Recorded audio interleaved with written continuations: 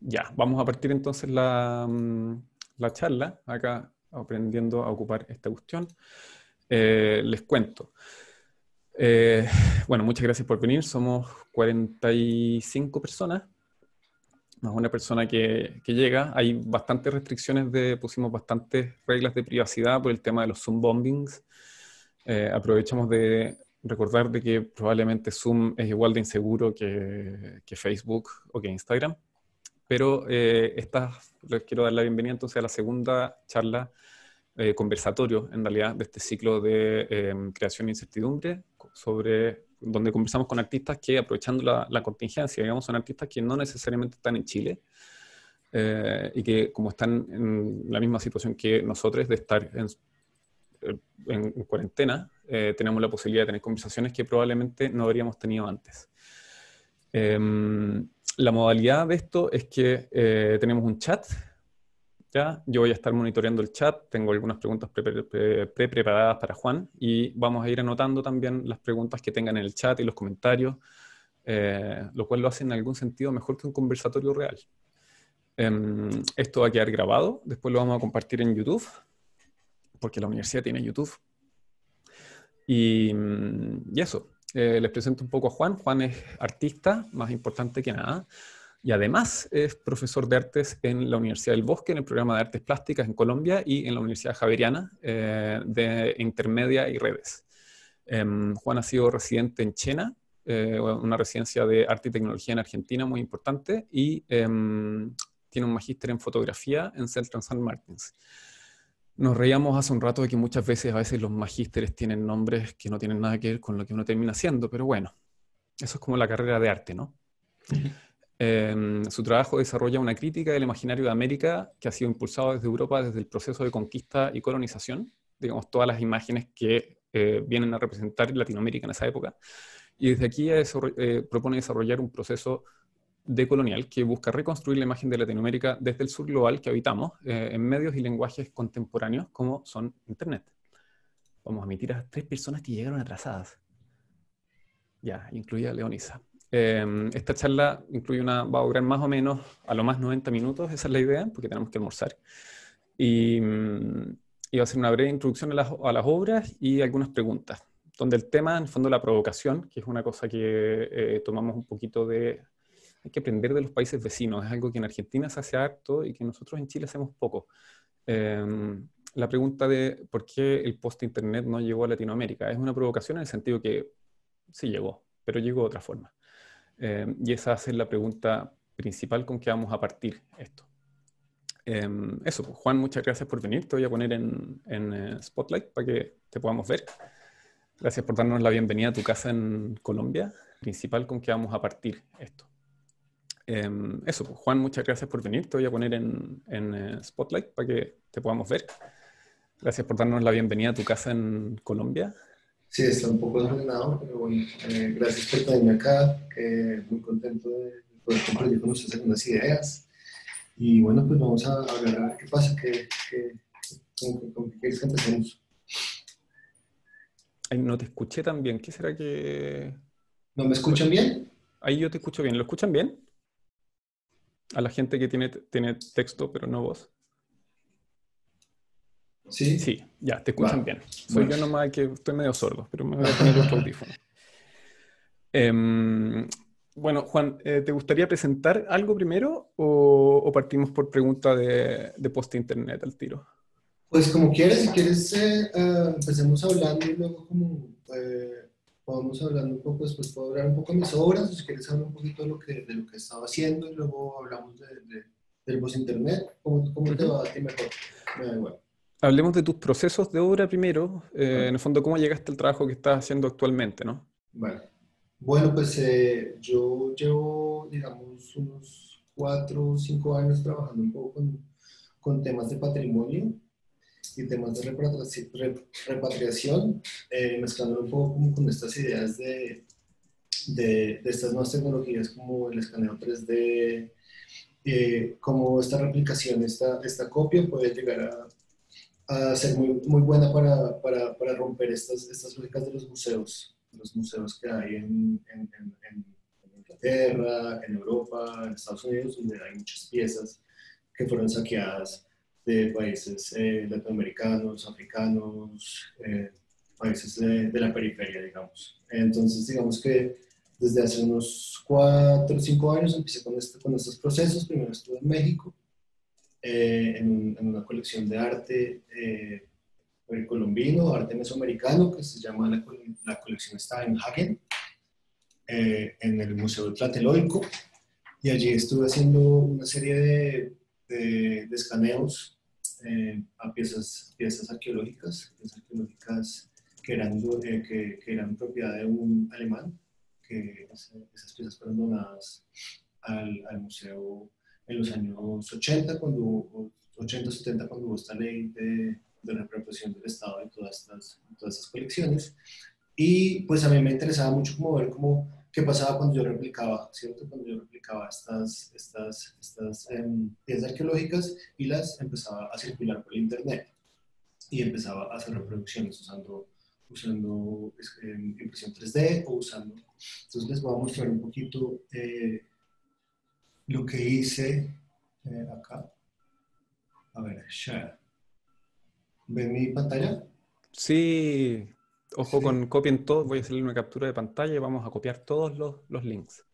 Vale, entonces, digamos que de, esa, de, de, esa, de ese escaneo, ahí yo empecé como a, como que yo fui, hice el escaneo y empecé a pensar como, ¿qué, qué hacer con estas piezas? ¿no? Entonces luego empecé a hacer una, una, una serie de rematerialización, una serie de de como de formación, de, darle otras nuevas formas a estas, estas, piezas arqueológicas, como tratando de cómo quitarles esta, este, este, esta, este, estas ideas coloniales, estas cosas que las piezas arqueológicas cargan, que para mí eh, ya una pieza arqueológica dentro de un museo es, nos recuerda este, inmediatamente a nuestro pasado colonial, ¿no? Entonces, eh, pero luego estaba, yo vivía en esa, en esa, época en Inglaterra, entonces pues me devolví, estuve allá eh, pues haciendo como trabajos con estas piezas y empecé a sentirme un poco como, bueno, yo estoy haciendo lo mismo que se estaba haciendo en el pasado. Fui a, fui a Sudamérica, escaneé estas piezas y me las llevé. Entonces, eh, uh, con, con School Post y, y, el, y, el, Museo CMK de School Post. School Post. School. Que es una, es una academia, es, eh, en, si quieren acá les puedo poner dónde está les puedo mostrar. Es esta, es, es, es esta Academia Solitud, que es una, es como una, una, academia que hace, que hace muchas cosas y dentro de esas cosas tiene una parte digital y tiene una residencia artística y me invitaron a participar en esa residencia y entonces lo que, lo que hice yo fue sacar estas piezas que había escaneado y las saqué, digamos, a, al, al, al, dominio público del Internet y le invité a la gente a que, a que las pudiera descargar. Entonces, si ustedes pues, van a esta página web, todas estas piezas que ven acá están, están descargables en, en, una, en una, calidad súper alta, ¿vale? Entonces, ¿qué, le, ¿qué invitaba yo a la gente? Por medio de una, de una invitación a la acción, invitaba a la gente a que pudieran descargar estas piezas, a reconfigurarlas eh, o, o hacer con ellas como unos remixes que quisieran eh, como, una, como una manera de, romper ese pasado colonial y darles como una nueva vida a estos objetos.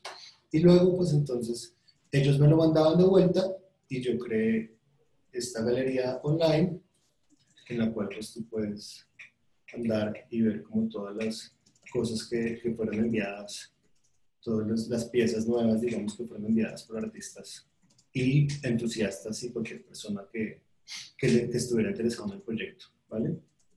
Eh, cuando, cuando hice esto, pues estaba como muy, un poco como, como asustado, pues porque estaba trabajando con patrimonio de otro, de otro país que no era el mío, patrimonio eh, pues un país, de, del país mexicano, estaba rompiendo eh, leyes leyes eh, estatales de México, porque en México si tú quieres hacer una, una, reproducción de una obra, que ellos esto lo ven como una reproducción de una obra, aunque YouTube es un montón de de problemas, pues no problemas, sino un montón de discusiones legales sobre que para mí una, una reproducción de una, de una, de una, obra por medio del Internet de, de, reproducciones 3D no necesariamente es una copia exacta, sino que es una nueva, un nuevo objeto que se crea Entonces, pues ahí, pues, digamos que al hacer esto, pues yo estaba un poco rompiendo con, con leyes mexicanas de reproducción de, patrimonio. Lo interesante de, todo esta, de, de, toda esta historia es que el, digamos, el 80-90% de la gente que, que, que, trabajó y que hizo, que hizo acceso a estas páginas era de México. Ajá. Entonces eso fue muy interesante. Es súper interesante para mí. Entonces digamos que... Cómo, ¿Cómo pasó eso? No sé si fue porque, pues obviamente yo pues venía de hacer el trabajo en México y tenía, pues estaba como, tenía muchas redes, pero mi, mi miedo era que, por ejemplo, esto iba a ser, iba a ser pues diseminado por medio de unas redes europeas alemanas en el, en el, en el, norte, ¿no? Entonces dije, no, pues esto va a estar lleno de gente del norte, la gente que va a trabajar con esto. Y no, no sé por qué fue, tenía, pues tenía muchos contactos en México que también nos ayudaron como moverlo, pero también en, muchas partes como en Sudamérica como que esto resonó. ¿vale? Entonces para mí esta obra, digamos que, que, fue muy importante para mí porque también fue el primer, primer momento en que yo empecé a, a, ver el Internet como un lugar donde yo podía hacer, hacer trabajo y hacer obra y que esa obra podría, podría resonar no solo como en, el, en, en los círculos del arte, sino en otros lugares. Entonces, esto es como para mí una obra súper importante.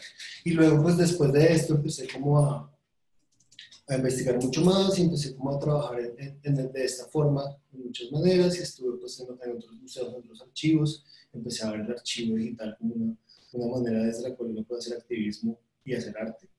Y eh, el año pasado me devolví de, de les voy a mostrar me volví de, Inglaterra con, con ganas de seguir haciendo lo mismo en Colombia, trabajando en archivos. Pero es complicado ese tránsito. ¿Cómo, ¿Cómo fue tu vuelta del... ese como síndrome de la gente de hacer magíster y yo le digo como el problema de Cenicienta, ¿no? Sí. Entonces fue bastante difícil, fue bastante difícil volver a Colombia. Venía con un montón de, ideas, venía con... Eh, el, año antepasado estaba en una residencia en, Oslo con, con, la directora, eh, con, la, con, una, con, una, de las personas que había sido la curadora de, de la TEI para las Américas. Y estábamos en una, una pues digamos, una, una, tutoría, si se puede decir, un conversatorio, y ella me dijo, de lo que estábamos hablando, una de las cosas que me dijo es como, tú tienes que volver a, a, Latinoamérica y tienes que volver a, a recordar tus raíces tienes que decolonizar tu mente.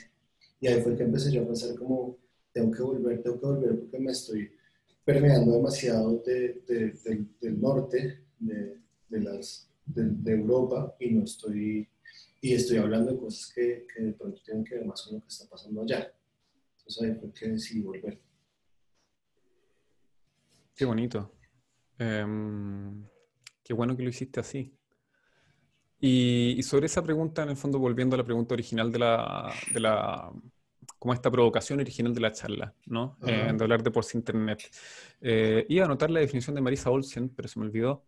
Em, pero, pero la pregunta original es esta que eh, comparto con una amiga, con Angélica Muñoz, que creo que está por acá, con ella la desarrollamos originalmente. Em, ¿Por qué llegó tan tarde? O, o, si es que no llegó, ¿qué pasó?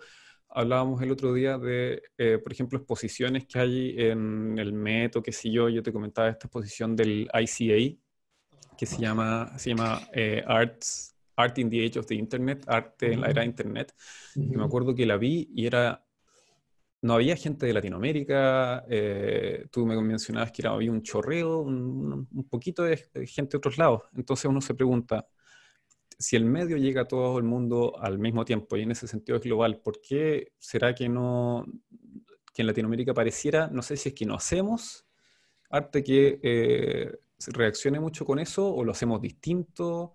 Eh, ¿por, qué no hay ¿Por qué crees tú que no hay representación eh, en, estas exposiciones? ¿Por qué en un medio global no es global en su representación?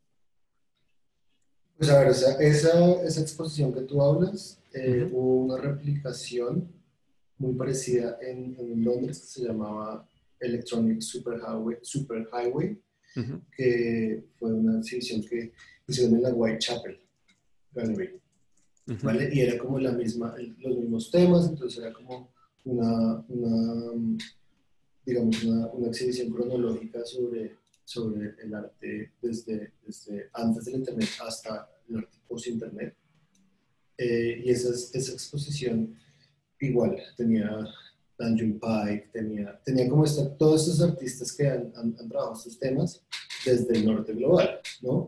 Entonces, digamos que eh, desde ese sentido, yo creo que como cualquier ismo que ha habido en, en la historia del arte, digamos, eh, eh, en el mundo, los, digamos, las, las, periferias nunca han estado ahí. Entonces, eso no, eso no ha cambiado, eso no cambia. Las vanguardias y todo, pues eran vanguardias europeas. y, nunca, y nunca hubo espacio para, para los latinoamericanos para entrar en esas vanguardias, ¿no? Y pues lo mismo pasa con el, con el arte post-internet, eh, que ya además es un término que, digamos, está digamos que, que, ya es un poco viejo, un poco arcaico. Eso es un, término que salió en 2009, creo que fue. Sí, o sea, la definición de la malicia es por ahí. Y pues es un término que, que también es un poco, yo, yo estaba pensando en esta idea de, de qué es el arte post-internet, y pues es que al final de la historia todos hacemos arte post-internet. Cualquier artista que esté trabajando ahorita, así no esté, así no esté digamos, usando el, eh, siempre el Internet va a estar ahí presente de alguna manera, ¿vale? Nos permea a todos. A, los, a, los, a, los, a los, y más a nosotros, pues que, digamos, el arte no lo podemos dejar de ver como un, un, proceso cultural que pasa dentro, de unos, dentro de unos círculos y unas élites. digamos que en ese sentido, pues todas las, toda, la gente, toda la gente que hace arte, o la mayoría de la gente que hace arte en Latinoamérica, tiene acceso a Internet y hace parte del Internet. ¿vale? Entonces, eh, lo, que, lo, que, lo, que no, lo, que no sea, lo que no llegó de pronto fue como el uso de unas estéticas y el uso de, unas materialidades, ¿vale? Creo que acá el Internet se ha usado para otra clase de arte o unos procesos sociales, unos procesos que, que, hacen más sentido al, pues, a, las lógicas y al contexto local. Claro, a mí me llamaba la atención, me acuerdo con esa exposición y con lo que dices tú, que, eh, por ejemplo, en esa exhibición habían pinturas eh, y, claro, pensaba, cuando tú tengo amistades, gente que conozco que es pintora como muy tradicional, digamos, pero igual publicita sus pinturas por, eh, hace como trailers en, en Instagram. Entonces eso es algo que es post-internet de facto, digamos, porque es otra manera de hacerlo, a pesar de que parezca provenir de otra época, pero, pero es imposible no serlo, ¿no? Como la definición que tiene, creo que eh, Page de, Google decía hace el 2015 en Davos, decía que eh, le preguntaban qué va a pasar con Internet. Y decía, bueno, Internet va a desaparecer. Em, y le preguntaban, pero ¿cómo? ¿Qué quiere decir con que va a desaparecer? Y decía, bueno, porque no te vas a dar cuenta que va a estar ahí. Va a ser como la atmósfera. Entonces, el contexto, ¿tú dirías en ese sentido que cualquier persona que trabaja ahora trabaja en un contexto post-Internet? Yo creo que cualquier práctica artística está atravesada por Internet en este momento. Eh, lo que digamos que es diferente es que el arte post-Internet, como, como se plantea, pues obviamente usa el Internet como una materialidad y, y usa las, las pues, digamos, las, diferentes em, cosas sociales, como los diferentes eh, movimientos sociales que el Internet está generando para generar arte. Entonces ahí hay, hay diferencia que de pronto obviamente hay, hay, artistas que lo, que lo hacen como un poco más fáctico, un poco más, un poco más obvio y otros que no, pero el, pero el Internet sí atraviesa cualquier práctica artística en este momento. O sea, para empezar cualquier proyecto, uno, a veces lo primero que va a hacer es ir a buscar a Google cualquier cosa. Y ahí, de facto, ya ahí empieza a ver, ¿y por qué Google es como el lugar donde todo el mundo está yendo a buscar? Porque es ese, ese motor de búsqueda y no otro. ¿Vale? Entonces, y entonces ahí obviamente el Internet de cualquier forma sí está afectando el, cómo pensamos y cómo actuamos y cómo hacemos arte. Entonces, por ejemplo, una, un ejemplo que ayer se me, se me venía a la cabeza era una artista colombiana que se llama Sofía Reyes. Yo nunca pensaría que ella es una, una artista post-internet ni nada, pero tiene, hace un par de años o tres años sacó una, una obra que se llama Nuevas Ansiedades y, y es, todos son videos de YouTube. Es una composición sacado de videos de YouTube, donde hay luego una, hay otra parte como más como de texto, donde hay unas conversaciones y unas cosas muy, muy íntimas de ella, pero que está en contrapuesta a unos, a unos, a unos videos y unas cosas eh, bastante fatalistas de YouTube. Entonces ahí como que yo nunca, Sofía Reyes, Sofía Reyes. Ahorita mismo las tiene los videos, eh, los tiene en línea por lo de la cuarentena, son bastante son bastante interesantes, son bastante buenos. Y pues en ese, en ese sentido, pues uno diría, pues entonces Sofía sí hace, hace, hace arte post internet porque está usando, está usando el internet como una materialidad. Pero pues acá nadie en el mundo, del mundo mundial diría que es un arte o es un artista post internet. Yo creo que acá ni siquiera el término eh, pues está, está en, en, el, en, el, léxico de la gente. O sea, acá tú nunca, nunca lo hablarías así. Es, como que si no hubiese llegado porque no, no se aplica nomás. El, hace algunos días me reía con alguien, no sé, conversaba con, con mi pareja, con Constanza, por este conversatorio, y, y nos preguntábamos si es que en realidad eh, en Latinoamérica, en el fondo, esto es súper eh, es, super cursi, ¿no? Pero, pero quizás éramos mágicos antes que virtuales. Eh, como si el post-internet, en el fondo, por ejemplo, tiene, hay, hay ciertas asociaciones con que el arte post-internet, por ejemplo, tiene una estética un poco como desganada y, cínica, ¿no? Que es como Vaporwave para eh, galerías y museos. Eh, y quizás nosotros podemos responder distinto a esa misma pregunta, a ese mismo ambiente, ¿no? Pues igual, sí. Dime, dime, Ah, no, que tú me preguntabas, por ejemplo, me comentabas que la dinámica que por ejemplo una de las cosas que pasa con este tema del arte, digamos, en la era de Internet es cómo eh, amplifican, se amplifican y se perpetúan dinámicas de periferia y centro. Porque es un poco absurdo que teniendo los mismos medios, por ejemplo, eh, no sé, pues yo no pueda ver, yo siga no pudiendo ver un video de Camille Genro a menos que vaya al Met, siendo que materialmente es, no, no debería ser, en el fondo, claro, se perpetúa esa diferencia porque se hace tan difícil ver una, un video de Camille Genro como ver el David de Miguel Ángel, en circunstancias que no es. Pero también hay una cuestión ahí también de cuando hablaba del centro de la periferia, este, del acceso a, a estos medios de producción y a estos medios de, que, que, traen el Internet, ¿no? O sea, por ejemplo, yo te daba el otro día que estábamos hablando el ejemplo de este, el Internet hace cuánto empezó, en el 98, ¿vale? Estamos en, el, en el 2020 eh, con, esta, con esta situación en la que estamos todos, eh, todos tenemos que hacer una suerte de teletrabajo, tener acceso pues, a, los computadores. En Colombia más del 60% de la población no tiene acceso a banda ancha. Entonces digamos que ese acceso a, esos, a, esas, a esas herramientas sí es diferente, es, no es algo que está completamente, eh, digamos, ¿cómo es que se dice esto? Cuando es universal, acceso al, Internet que es universal, porque no lo es. Entonces, obviamente, pues sí hay como una, una suerte de periferia desde, desde que no, no, todos tienen acceso, es lo mismo. si, digamos que obviamente pues, me hablas de, de, de, de este video de Camila Rock, que es pues, la epifanía del pues, internet. Es, precioso ese video, tuve la oportunidad de verlo en, eh, en, en Londres. Eh, digamos que, que, tampoco hay, hay otras prácticas que digamos que por, desde ese momento eh, el, el net art no llegó, no llegó a Latinoamérica. No. El net, entonces, si el net art no llega a Latinoamérica, ¿cómo va a llegar un post-internet? Yo creo que es más fácil que llegue el post-internet que llegue el net art, ¿vale? En los, en los, al comienzo de los 2000 cuando el net art estaba, estaba en boga, digamos, y fue como, como lo que empezó a pasar. Acá no, no había esas infraestructuras, sino había esa, esas lógicas dentro del dentro de las de, del mundo del arte, ¿vale? Entonces, si el art no llega, el post-internet, ¿cómo, ¿cómo, va a llegar? ¿Vale? Pero entonces, pero igual yo sigo pensando que el post-internet es mucho más fácil que el post-internet llegue, porque el, internet, el post-internet no necesita, de cierta manera, del dispositivo, porque el post-internet, post-internet saca el internet del dispositivo y lo, y lo vuelve materialidad y lo, y, lo, y, lo, y lo entra en la galería y lo, entra en el espacio físico. Entonces ahí hay unas, unas dinámicas que de pronto sí pueden empezar a pasar de maneras diferentes, que es lo que, a lo que yo vuelvo, es que no es la misma estética. Entonces ahí, ahí es donde tenemos que empezar a buscar cuáles son los procesos sociales que el Internet está generando en Latinoamérica que están generando prácticas de Internet. ¿vale?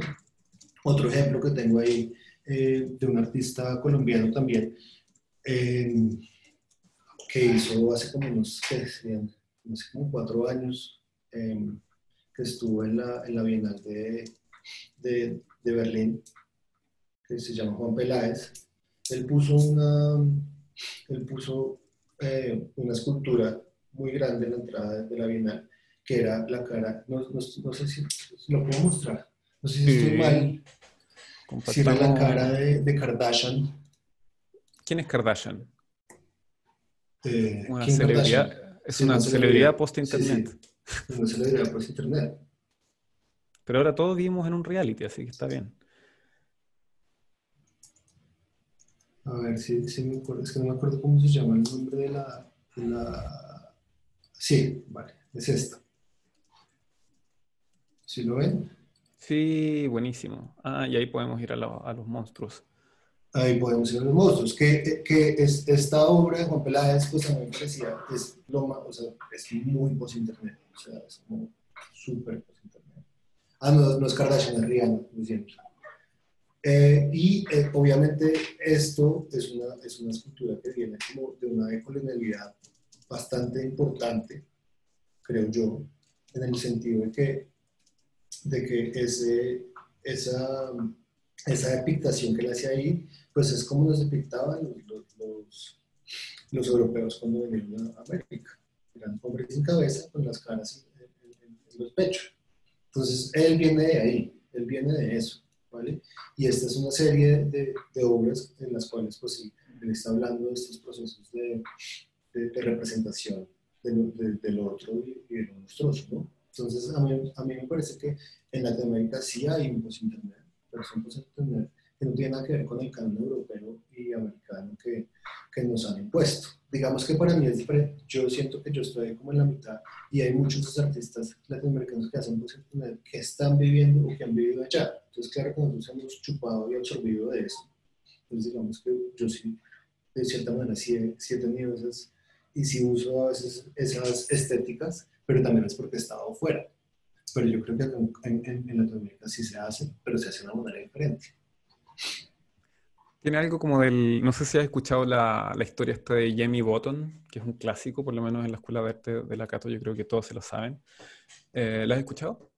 No. Eh, en el Beagle, cuando llegó Darwin con Fitzroy, eh, se llevaron a Inglaterra, como estas cosas que bueno, ahora uno postula en Inglaterra, ¿no? Pero pero en ese entonces lo que hicieron fue pescar eh, a un grupo de eh, eh, Selknam, de latinoamericanos eh, Selknam, y se llevaron a uno que le pusieron Jamie Button porque lo cambiaron por un botón, creo, creo que esa es la historia. Y lo hicieron ir de gira por Europa, básicamente, y se lo presentaron a la reina Isabel, lo disfrazaron y lo vistieron y toda la cosa, y después volvió para... Después lo mandaron de vuelta a Latinoamérica, toda su familia quedó allá, murió allá, hay un libro muy bonito que se llama Huesos sin descanso sobre eso. Eh, pero de alguna manera, no sé, por la experiencia de ir, eh, de, ir afuera, em, tiene que ver con, en el fondo, ejercer este viaje de Jamie Button, pero volver y no terminar como Jamie Button, porque al final era un viaje traumático para él. Eh, como que volvió y no... En el fondo, lo único que se perpetuó es ese mundo que estaba allá, como algo tal vez, no sé si superior. La otra La otra, claro, como una, una, especie de, no sé, pues siempre pienso como la diferencia entre como los orcos y los, y los elfos en El Señor de los Anillos, así como que, bueno, ¿qué hay de malo en ser orco? Quizás es bonito y no nos damos cuenta. Um, pero en ese sentido, en relación a los monstruos, que es un tema que has estado investigando un poco, ¿qué, qué nos cuentas de eso? ¿Tienes figuras del basilisco? ¿Lo puedes? Sí, pues si quieren les, muestro, les voy mostrando el, el video, digamos, de, esta obra que se llama Terra Incógnita, que, que sale de, en realidad, cuando entonces, para volver a, llegar al, cuento, cuando yo vuelvo a Colombia, yo vengo con esta idea súper específica de voy a trabajar con patrimonio. Perdona, paréntesis, eh, a Jamie Botton volvió, eh, Claudia Müller nos comentaba que volvió a el territorio que es actualmente Chile y lo mató un grupo de salesianos. Ah, sí. Ah, wow. wow. Gracias, Claudia. Entonces, ¿qué es lo que estaba haciendo? Estamos hablando de monstruos. Ah, vale, sí. Entonces, em, vuelvo yo a... Ah, no, al revés, perdón. Última interrupción. Él mató a un grupo de salesianos y fue la, única, la única revuelta. Bien, bien por Jamie Botón. a ver, ¿dónde quedó esto? Vale. Entonces, cuando vuelvo a Colombia, em, empiezo a, quería, venía igual, quería trabajar con el museo, quería seguir trabajando con, con tecnologías 3D, quería seguir replicando y viendo cómo sacar objetos del museo para poder usar en otros espacios. Eh, pero el año pasado fue el, el bicentenario de la muerte de Humboldt. entonces acá en Colombia eso fue súper importante y, y, desde que llegué empecé a ver un montón de, de, como exposiciones de cosas, como que había un montón de información por ahí andando. Y entonces yo como que me empecé a interesar muchísimo más en eso, en esas historias coloniales y en esas formas en cómo el, digamos, la, la, la expedición botánica, la colonia, la conquista, eh, como desde la, desde, desde, la naturaleza, desde la expedición botánica, era que se, se estaba empezando a, a, ocupar ese territorio, ¿no? Y como era que, que, que, que empezaba a ver como esas, esas diferentes depictaciones, representaciones de, de lo de lo, de lo, de lo latinoamericano, de lo, de lo de América como, ese, como exótico, como diferente, como tal. Entonces eh, me encontré un librito que me regaló mi mejor amigo que se llama Historia Natural y Política. Eh, y empecé como, desde ahí empezó como investigación y empecé a, a, a ver cómo, cómo desde, desde, la conquista, desde las primeras crónicas, empezaba como a a verse como de esa manera que estaban, estaban mostrando la naturaleza en, en, el nuevo reino de Granada o en la, en la, nueva, en la nueva tierra como ese monstruo, ¿no? Entonces empecé como a interesarme con, unas, con unos pocos animales que están presentes en este, en este video, en este mundo que creé yo, eh, que son el, pues la iguana, el, el manatí, eh, y luego como otros diferentes eh, animales que eran como, eh, como un poco como mitológicos, como el basilisco. Eh, entonces como que el, la, el, manatí como que fue uno, fue uno de los que más me interesó porque fue de los primeros que, que, se llegaron a ver. Y ese manatí, les vamos Pensaban que eran sirenas, ¿no? Pensaban que eran sirenas. A ver si lo tengo acá. Entonces, pues es, es, como un poquito como, como, entonces, como esa idea de que, de, la, de que la colonia, pues, eh, fue el, el, momento en que el antropoceno o el capitaloceno empieza, ¿no? Que es el momento donde se exterminaron tantos indígenas en América que la, la Tierra eh, se enfrió como 3 grados centígrados. Así fue. Entonces, entonces es como ese momento donde todo esto que llega a su culmen, yo creo que ahorita empieza a desatarse. ¿vale? Entonces, entonces pues eh, Humboldt la expedición eh, y pues cómo, se, cómo, se, cómo la, la, tecnología usada para mover estos, estas, estas plantas, estos animales desde, desde, desde, América a Europa, era como una parte muy importante, ¿vale? Era algo que me interesaba mucho, que eran estos cajones donde, donde ellos eh, mandaban las, las semillas y las plantas a algunos lugares de acopio donde había como una suerte de, como de, aclimatación para luego subirlas al, a, los barcos y llevarlas hasta Europa. Entonces ahí está esta, historia de, de, que al, al, ¿cómo se llamaba? Este, al, al, rey de Portugal le querían llevar desde, desde Angola, creo que era, un elefante. Ya. Y lo montaban, y lo montaban en el, en, el, en, el, en el barco y se les moría lo montaban en el barco y se, se hundía el barco. Entonces hasta que al final lo que tuvieron que hacer fue eh, coger al elefante y eh, disecarlo y llevarlo disecado. ¿vale? Entonces pues,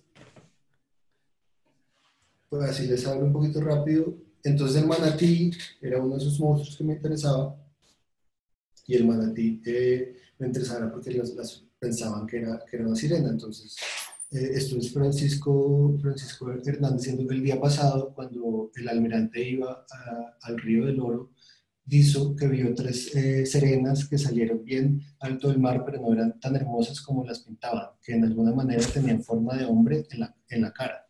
y, eso, y eso estaba en el diario de Colón, de, Colón ¿vale? Entonces, eh, eso es lo que me empezó a interesar de, cómo empiezan a, a ver. Bueno, es que además después, después de ese viaje yo creo que veían cara de humano en cualquier cosa. Me pasa a mí actualmente con la cuarentena. Claro. Le pongo cara a las cosas, eh, Wilson. Claro. Y luego pues estaba la iguana y, estaba, y había otros, otros más, ¿vale? es, interesante porque el, bueno, hay una historia parecida a esa del manatí, que es la de Durero y el, el rinoceronte, ¿no? Mm, claro. Que el rinoceronte Durero también lo habían mandado como, en el fondo, trofeo exótico, y Durero lo que pintó fue el cadáver, y hasta el día de hoy la gente piensa que los rinocerontes tienen, en el fondo, eh, como capas de madera y cosas eh, que parecen más tanques que lo que son.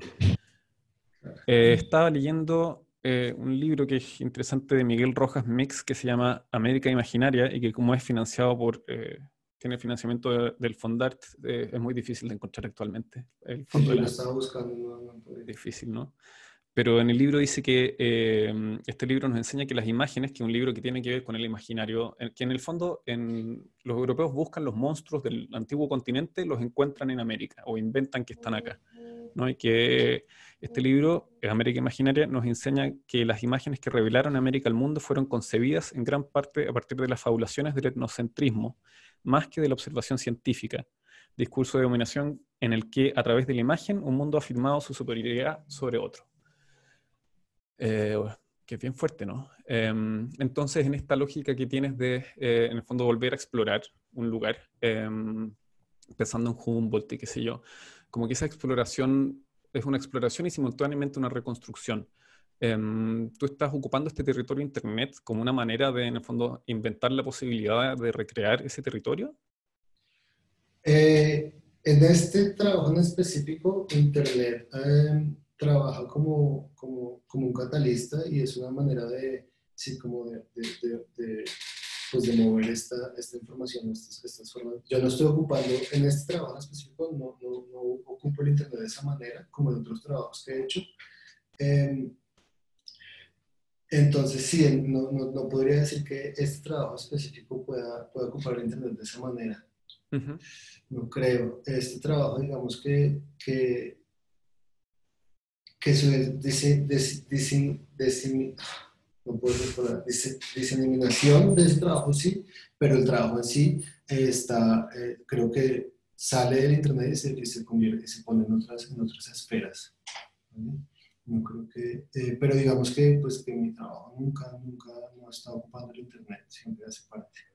Entonces, no creo que hay, pero digamos que lo que sí eh, ocupa el internet y es como digamos que sale este trabajo. Es que yo también tengo una, una práctica eh, curatorial y lo que, lo que sí hice, pues sale, sale ese trabajo, es una curaduría que, tuvo su, su, vida en el internet que se llamaba eh, Artificial Nature eh, y que donde invité artistas que estuvieron trabajando como en esta, en esta, en esta si quieren les puedo mandar el, el, el link para que lo vean. Súper. Felices. Por mientras voy a hacer correr una encuesta a toda la gente que está escuchando, unas preguntas que hay una pregunta que elaboramos con Juan también. Eh, son dos preguntas, si es que hay arte post-internet en Latinoamérica eh, y cuál es la materialidad de una práctica artística digital, que esa es como la pregunta divertida que va a guiar la segunda parte del conversatorio, yo creo. Entonces ahí les debe salir una ventanita curiosa. Eh, la ventanita tiene una... Eh, la ventanita tiene una encuesta. También les doy la bienvenida a mi taller que tiene una silla de mentira porque está dibujada y un retrato de Laura Palmer mal hecho. Nunca olviden a Laura Palmer. Mientras con Juan buscamos el... Ahí mandaste el link. Listo, ahí le mandé el link. Entonces, em, si quieren lo vemos igual juntos. Ya, veamos, démosle. Eh, y hablo un poquito de eso. A ver cómo bueno, Entonces digamos que esto fue, esto fue una, una curaduría que hice para una Bienal de Arte Digital que se llama Ron Bienale, no sé si la conozcan, y salió como de, de, ese interés mío que estaba en ese momento con, con esta historia de, lo, de, lo de, la naturaleza y pues el postulado mío era como desde el momento en que la, desde la naturaleza, desde el momento de la expedición botánica, la, naturaleza se virtualizó. Esto de que, de que, la naturaleza solo ha sido virtual ahora, eso no es verdad. La virtualidad empezó desde que empezamos a nombrar y, a, y, a, y pues a darle como unos nombres específicos y unas, y unas ideas específicas a lo que era naturaleza. Entonces, digamos que Humboldt y todos los, los grandes, eh, los grandes científicos de la época fueron los primeros que empezaron a virtualizar la naturaleza. Y ahí es donde, desde, desde donde empieza como el antropoceno y la idea de, que el hombre está por encima del resto de, la, de, pues, como por el resto, el resto de la naturaleza. Y pues esta, esta fue una, una, una, una curaduría con la cual limité artistas latinoamericanos y artistas europeos pensando en esas, en esas, en esas, diferentes, dinámicas. Entonces digamos que así como rescatar un par de obras, eh, esta de, Cristina Figueroa, eh, es una obra preciosa que nos está cargando ahorita, no sé por qué. mira, que acá está, que es un paisaje, es un paisaje, pero no un paisaje como... como es un perrito. Eh, exacto, es un perro. es un perro, esto fue grabado en unos viajes que ella hizo por, por, por Sudamérica. Pero entonces es un paisaje, es un paisaje digamos, eh, diferente a la, a la, visión, digamos, normal de paisaje y además de eso es un paisaje eh, artificial en el sentido de que este, este video, eh, el, el, video original tomado fue como un minuto y este video fue alargado durante, durante una hora.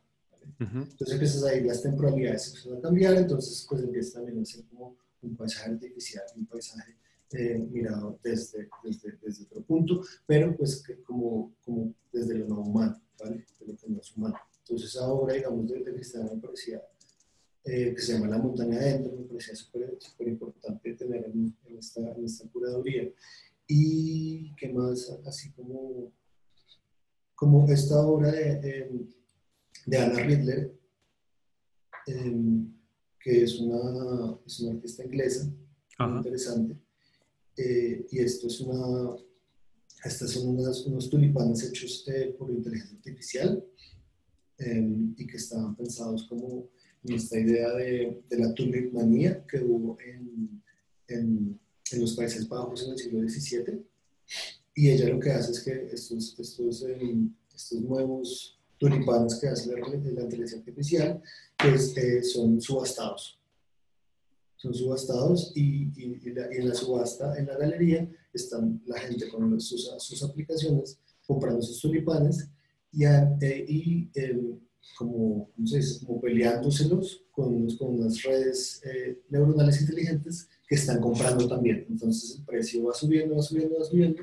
Tú compras el tulipán, que es un video, y el video a los al, al, cierto tiempo se acaba, como si fuera una flor, una flor real, ¿vale? Entonces, como que era como esa replicación de esa, de esa obsesión por una, que pues que el tulipán viene también, el tulipán eh, fue traído también de Medio Oriente por la colonia, entonces me pareció como súper interesante como esa, nueva relación que está generando con la naturaleza, esa nueva generación, y ahí esa virtualización absoluta del, pues, de la naturaleza.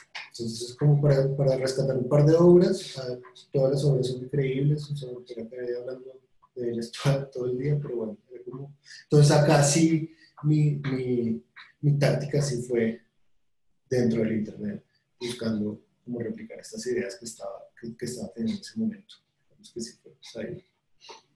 Entonces, como un contexto aparte. ¿Y te acomoda esto de la práctica, no sé, o sea, artista contemporáneo que a veces ¿Sientes que la práctica curatorial, en cierto sentido, es una práctica artística diferente? Sí, sí, sí. Yo creo que, no sé si artística, pero sí de creación. Ya, porque uno siempre, no sé, pues a mí me pasa que a veces como que uno tiene miedo, no sé, pues artista, artista en camino a ser artista grande. Y, eh, como que, no sé, pues cosas que dan miedo son hacer clases y hacer curatorías, porque eh, como que disminuyen el potencial creativo. Pero tú dices que, que sí lo tienes, ¿no? Yo creo que, yo creo que la, la curaduría como tal ya está haciendo, eh, pues se ve como, una, como, una, práctica creativa. Digamos que yo también lo veo como que yo no, yo no quiero ser curador y yo no, no, es mi intención, pero siento que a mí la curaduría me da también muy buena para poder investigar y poder empaparme de temas y poder eh, aprender de otros artistas también de cosas. Eh, entonces, pues, he hecho un par de curadurías digitales. este año hice mi primera curaduría, digamos, en el mundo real, aquí en Bogotá, en un sitio que se llama el Espacio de On. Me gusta esa frase, este año hice mi primera curatoría en el mundo real. y esa curaduría pues la hice con una con, los dos colegas con los que tengo una, una digamos, colectivo curatorial de solo imagen movimiento. Este año hicimos uno que se llamaba Dispositivos para evitar la pantalla. Fue bastante ah, interesante. Importante, mi ventana me ayuda a evitar la, la pantalla. Acá Anastasia pregunta, tiene dos preguntas, hay una que voy a guardar para el final, Anastasia, em, pero eh, Anastasia pregunta si estas obras se muestran solo a través de Internet o también en museos. Y si es que se muestran en museos, ¿cómo es el montaje? ¿En tele, en realidad virtual, en Zoom? Eh, se han mostrado en, espacios reales, en museos. Eh, eso depende también mucho del espacio expositivo. Eh, lo he mostrado en realidad virtual. No es el lugar que más me gusta, digamos que no es el lugar donde me siento más cómodo. Me siento que la realidad virtual tiene muchísimos problemas eh, porque ya es como la abstracción total de la representación, y, siento que, que, además de eso, el, el, el, hecho de que solo una persona pueda pues, habitar la obra a la vez, me parece bastante complicado. Entonces, lo que hago sí es como, les puedo mostrar un par de, montajes, como, como a, veces, a veces hago montajes en... ¿Cómo llego otra vez? ¿En SketchUp? Eh, no, no, voy a eh, les voy a mostrar un par de... Yo lo tenía abierto, ¿qué se me hizo?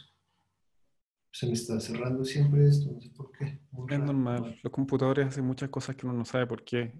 Yo estoy muy agradecido de que no se haya caído todo esto aún. Eh, no, pues les voy a mostrar este otro, ¿dónde está? Tan buenos los resultados de la encuesta. Acuérdense que todavía está abierta. 69% ha votado. Ese como humor de vendedor de bingo, ¿no?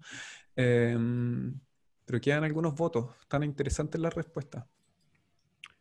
Te anticipo, Juan, de que por mientras la única materialidad de una práctica artística digital, la única que no va es video. Curioso. Ah, wow.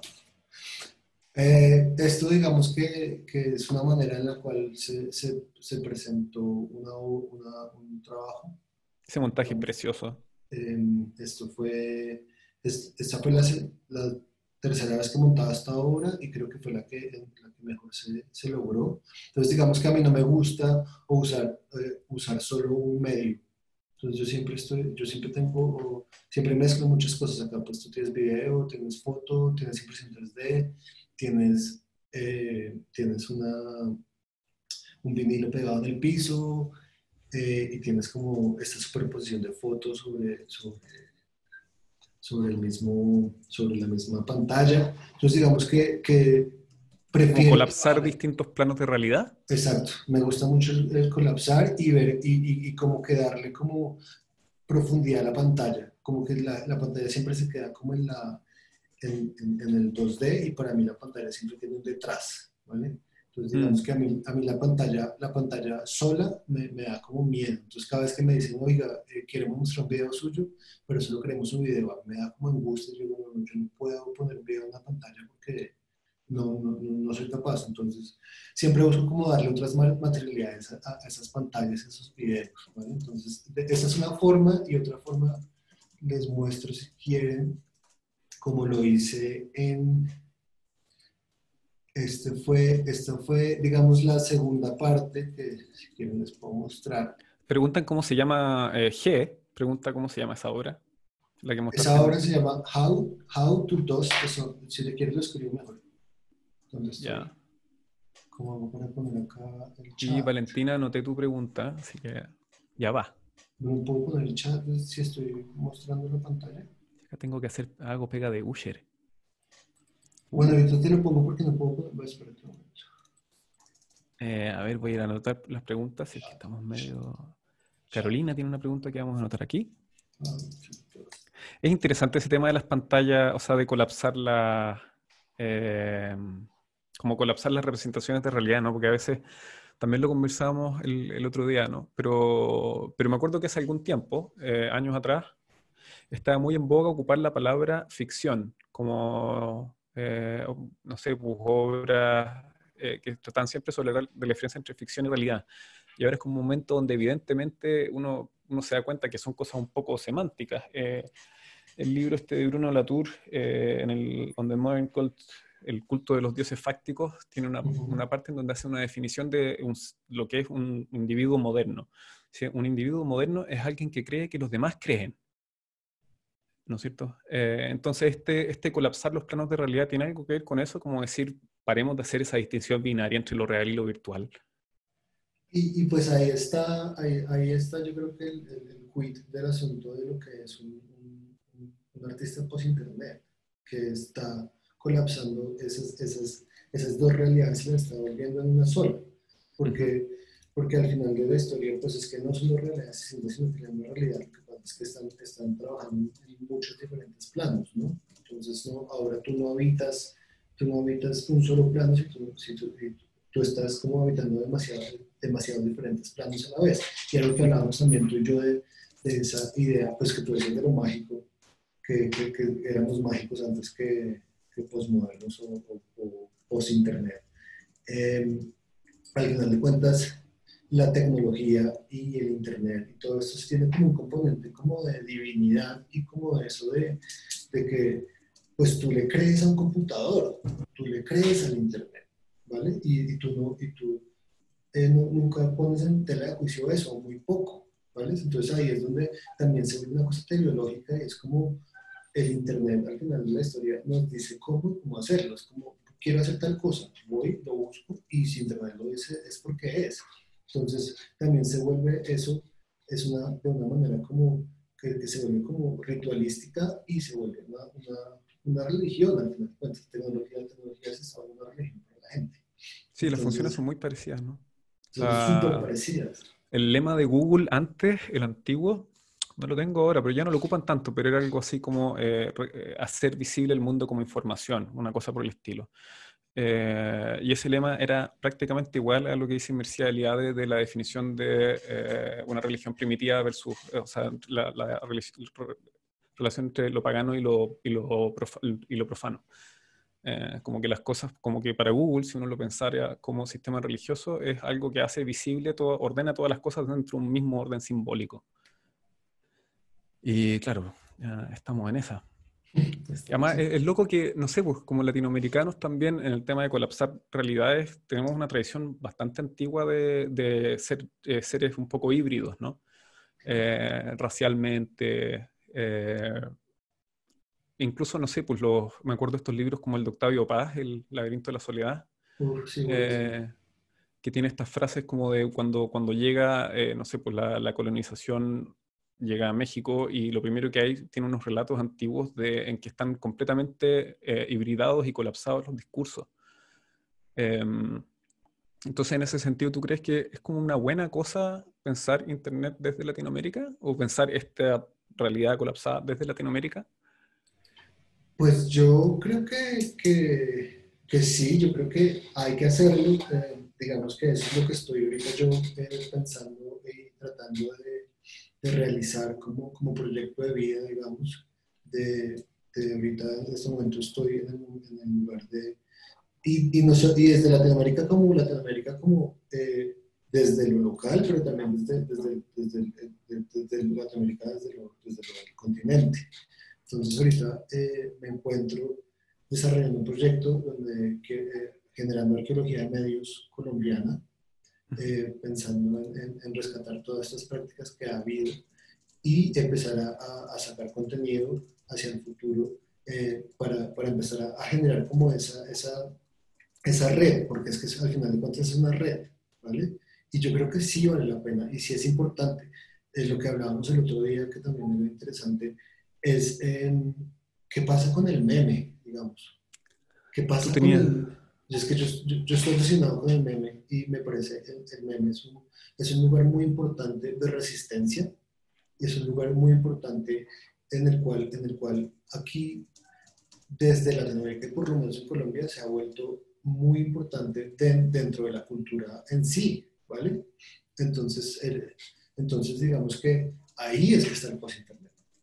Ahí es que están los, los, procesos sociales pasando, no en, las, en, las, grandes ideas, en las grandes ideas de los, sino en esos, en esos procesos sociales que pasan ahí dentro de estas, de estas pequeñas eh, imágenes que se replican al infinito, ¿vale? Que es el meme. Entonces el meme, a mí me parece como ese, ese experimento social que que, que, nos interesa a todos y que, nos y, que, y que en Colombia por lo menos se ha vuelto, se ha vuelto digamos que pan de cada día en todo, en todo momento. Y yo no sé si allá le hacen tantos memes al, presidente. Bueno, no sé, eh, yo tengo la teoría de que Trump, eh, Melania y, y, y, el presidente de Chile son presidentes, son presidentes de un periodo como no post-verdad, sino post-meme. Pues meme, eh, cuando, no sé, pues Melania se saca esa foto con, con el traje que tiene, o sea, con la ropa que dice eh, no me importa, es como si se hubiese hecho un meme antes de que le sacaran la foto, ¿no? Em, te quiero hacer unas preguntas en todo sí, caso. hay un montón de preguntas, de gente. Si quieres, si quieres. Porque se me están acumulando y no sé por qué esta cosa no me deja hacer control C, eh, control pegar, pero vamos a partir por Valentina Soto, que está muy interesada. Gracias, Valentina. ¿Sabes que esto es como un híbrido entre un matinal de televisión y, y un conversatorio? Eh, además me encanta el chat porque es como el inconsciente colectivo. Bueno, eh, en torno a pensar por qué un medio global no es un medio en su representación. También está el tema de las curadurías y qué tipo de arte le interesa mostrar al norte, Estados Unidos o Europa. Me interesaría qué piensan de esto, qué piensas de esto, y cuáles han sido eh, sus propias o tus propias experiencias personales en cuanto a ser eh, artistas en torno a ser artista latinoamericano en otro contexto. Y las presiones, eh, conscientes o inconscientes, de hacer un tipo de obra. Esa parte de las presiones están buenas, ¿no? ¿Cuáles son las presiones? Sí. Em, ¿Quieres empezar tú? No, o sea, yo, yo estoy acá de, de Usher, tú... Usted espera, lo, vuelvo a leer, es esta que dice por el medio de la global, no es global. Es a las 11.53. Sí, ya lo vi. Entonces, sí, o sea, digamos que eso, eh, pues es, es, muy, es, es, como muy evidente, digamos que el, el, Internet supuestamente es la cosa que nos conecta nos, y nos, nos, nos globaliza a todos, pues en realidad no es así y en realidad, pues obviamente lo que se genera es un montón de, yo lo que le digo a mis estudiantes cuando, cuando les hablo de los procesos del Internet, es como que lo que Internet genera son barreras, y son, son, son, barreras que uno no ve porque son barreras algorítmicas que, que uno no se da cuenta y que, que, al final de cuentas uno lo tiene como encerrado en lugares muy específicos, ¿no? Entonces, tú ves lo que te dejan ver, punto y pelota. ¿No? Entonces ahí como que eso es eso es súper importante cuando, cuando, cuando empezamos a, a pensar en, en, procesos desde el Internet.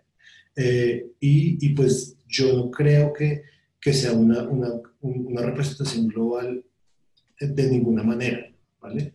De ninguna manera el Internet está haciendo, está, sino que está generando, está generando es, supuestamente es una red de nodos que, que, nos, que, nos, que nos que nos conecta a todos, pero al final de cuentas esos nodos se están volviendo cada vez más pequeños y nos están encerrando, están haciendo ver como así, ¿no? Desde, mm. simplemente lo que nos dejan ver, ¿vale? Esto es de ahí.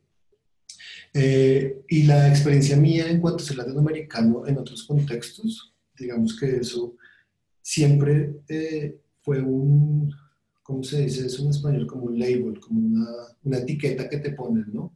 Como que artista latinoamericano en Londres. Eh, artista, artista digital latinoamericano en Londres, ¿vale? Eh, yo nunca quise como autoetiquetarme a mí mismo en ese, en ese sentido, pero uno siempre no deja ser el exótico, uno siempre deja ser la otra edad. Eh, en, en, muchas ocasiones eso te trae un plus, a veces, a veces no, pero si estaba muy en contra o si fui muy en contra de muchas veces eh, de estos artistas latinoamericanos en Londres que se venden como artistas latinoamericanos y que lo único que, de que hablan es de, de, de, de Latinoamérica desde, esa, desde, desde ese otro punto que es el Londres. Entonces es que en Latinoamérica todo es, todo es un desastre acá todo está bien. ¿vale? Como que perpetúa la condición de... Que perpetúan ellos mismos y que entonces están en Latinoamérica y dicen, ah, yo me quiero para allá porque es que allá todo está mejor. Y llegan allá y dicen, eh, Latinoamérica eh, no, no, no, no, está bien, es un desastre, pero nosotros latinoamericanos somos más, cálidos, pero nosotros, como que hay como, como que, como que es, como que eres mejor latinoamericano cuando estás afuera de Latinoamérica. Y replican y replican todas estas, estas ideas y a mí me parece que eso no debería ser así. Entonces yo, en mi experiencia cuando estuve allá, fue como un poco como pararme en un punto neutro.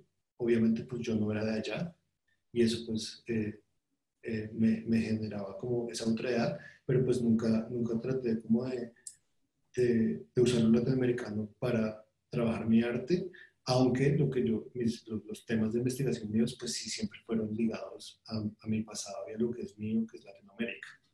No sé si eso esa fue una buena respuesta no. A ver si nos dice si es una buena respuesta o no, no nos dice todavía, pero yo creo, que a mí me parece una respuesta interesante. Eh, dice, Valentina dice que jajaja ja, ja, que sí. Eh, es un temazo ese. Eh, es raro porque siempre es bueno, no sé, pues yo, por lo menos en lo personal, recuerdo que era bueno estar, siempre es bueno estar en otro lugar porque es más fácil ver algo desde lejos. Como que, no sé, pues tu nariz es lo más cercano que tienes a tu cara y es lo único que no ves. Ya. Entonces, quizá a veces es bueno estar en otro lugar para ver quién eres nomás. Em, ya, otra pregunta más de Carolina, dice acá. Eh, tengo una pregunta que la podemos dejar para el final, pero la vamos a poner por ahora, eh, respecto a las piezas arqueológicas que reproduces en 3D. Eh, Michael Tausin, antropólogo, que espero estar pronunciándolo bien, habla en uno de sus libros más conocidos, Mimesis y Alteridad, que hacer una copia afecta a lo que es una copia en sí misma, adquiriendo e incluso ampliando las propiedades de lo que es, ampliando las propiedades de lo que se está copiando, lo que está cargando el sentido, de sentido mágico eh, lo que está cargado del sentido mágico del doble en el mundo amerindio. ¿Crees en la existencia de una conexión corporal implícita en el acto de creación, percepción del doble? ¿O qué carga ritual o mágica posee el doble para ti? Está buena la pregunta. Gracias, Carolina. Eh, mira, te voy a compartir una, una, una entrevista que, que, que, hice donde hablo mucho de eso, pero para que la leas después. Pero, pues hablando de eso, yo creo que la copia, y eso es algo que para mí es muy importante, que la copia en estos momentos, en, nuestras nuevas, en, nuestras, en, nuestras nuevas lógicas, la copia tiene más poder que el original. Mm, es el meme, ¿no? Es el meme, pero digamos que entrando a lo arqueológico y, y desde que desde eso, primero que todo como la copia, digamos, yo creo que esa copia no, necesariamente tiene como, digamos que cuando, era, cuando existía la fotografía y estas otras formas de, de representación, tú le tomabas la foto a la, a la pieza arqueológica y era como, esta es la foto de la pieza arqueológica, está la relación de índice y representado, ¿vale? Entonces es como, era como súper super obvio esa, esa lógica, ¿no? Cuando tú haces un escáner 3D, tú no estás generando una representación, sino estás generando un objeto un objeto volumétrico, ¿vale? Entonces ahí hay un montón de, de, de, de problemas y de cosas que, que, eso trae, y es que ese objeto no necesariamente es idéntico al objeto original, nunca va a ser idéntico. Eh, hay una lectura, hay, un, hay, una, hay una lectura muy interesante en el libro de Hito Sleya, eh, el último libro que se llama Arte Duty Free, hacia el final, donde está ese libro? ¿Lo tiene caja negra en español? Sí, lo tiene caja negra en español. Espérate y busco. bueno, Creo que lo tengo en PDF. Pero bueno, ahí hay un artículo que habla sobre, sobre eso, de la replicación y del 3D. Ah, Entonces, sí, Data. Tú, sí. Cuando tú haces esa replicación, hay un montón de, de, de, puntos que no, que, no, que no están, que no las está tomando exactamente como el original, y eso genera que ese, ese objeto sea casi que una, como un acto de fe, ¿vale? Porque los, los software y un montón de, de, software, pues lo que está generando es llenando las imperfecciones y haciéndolas, haciéndolas malla, ¿vale? Entonces, esa, replicación, eh, esa replicación nueva es un acto de fe y en realidad no, tiene mucho, no, debería tener mucho que ver con el original en el sentido de, de, de, copia de original, sino que es un original en sí. ¿Vale? ¿Y por qué es más, más, más poderoso?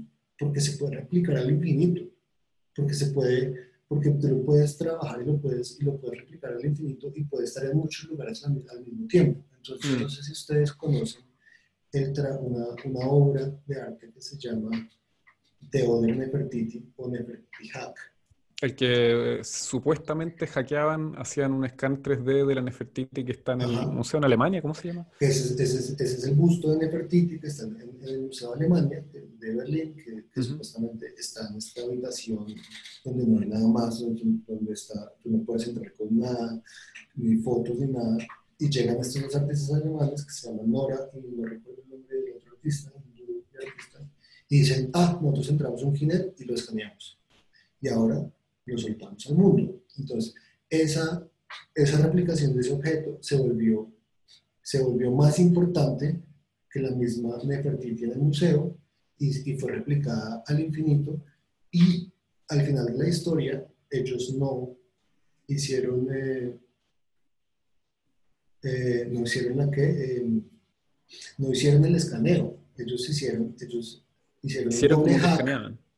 Hicieron un doble hack porque alguien que había, tenía los, los, datos del museo les entregó la información. Entonces ahí lo importante era cómo al liberar esa información, pues liberan a Nefertiti, de cierta manera. Entonces ahí, ahí esa copia que, que, se puede, que se replica, se replica, se replica, se replica, toma más importancia que el original y pues entonces en ese sentido pues estaría de acuerdo con lo que estaba diciendo Carolina, creo que era sí. la que había Acá Jo Contreras tiene una pregunta que sería interesante eh, confabular con lo que plantea Carolina. ¿ya? Eh, dice Jo Contreras, hola, gracias por esta interesante conversación. De nada.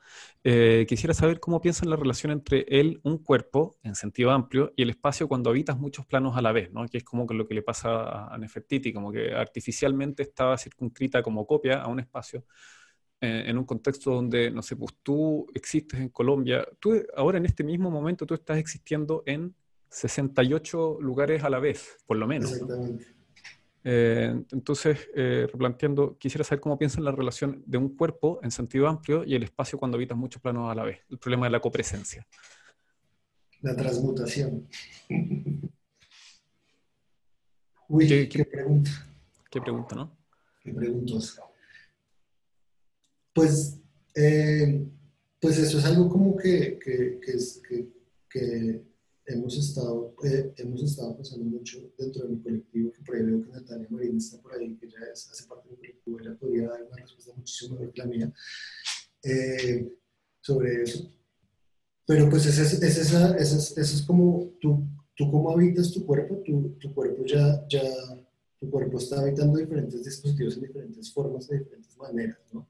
Entonces, digamos que ya, obviamente, pues está el cuerpo real, el cuerpo em, físico, que pues te tocas, pero luego pues ya hay como una, una, una realidad aumentada, un cuerpo aumentado que hace parte de otras, de otras lógicas, que son las lógicas digitales. Entonces ahí pues podríamos empezar a hablar como de, del cuerpo, el cuerpo y la identidad digital, pues que es una, es una multiplicidad que se, que se, que se multiplica y que no tiene como esa, que podemos empezar a hablar de Deleuze y pues Deleuze hablaba de lo digital mucho antes de que lo digital existiera.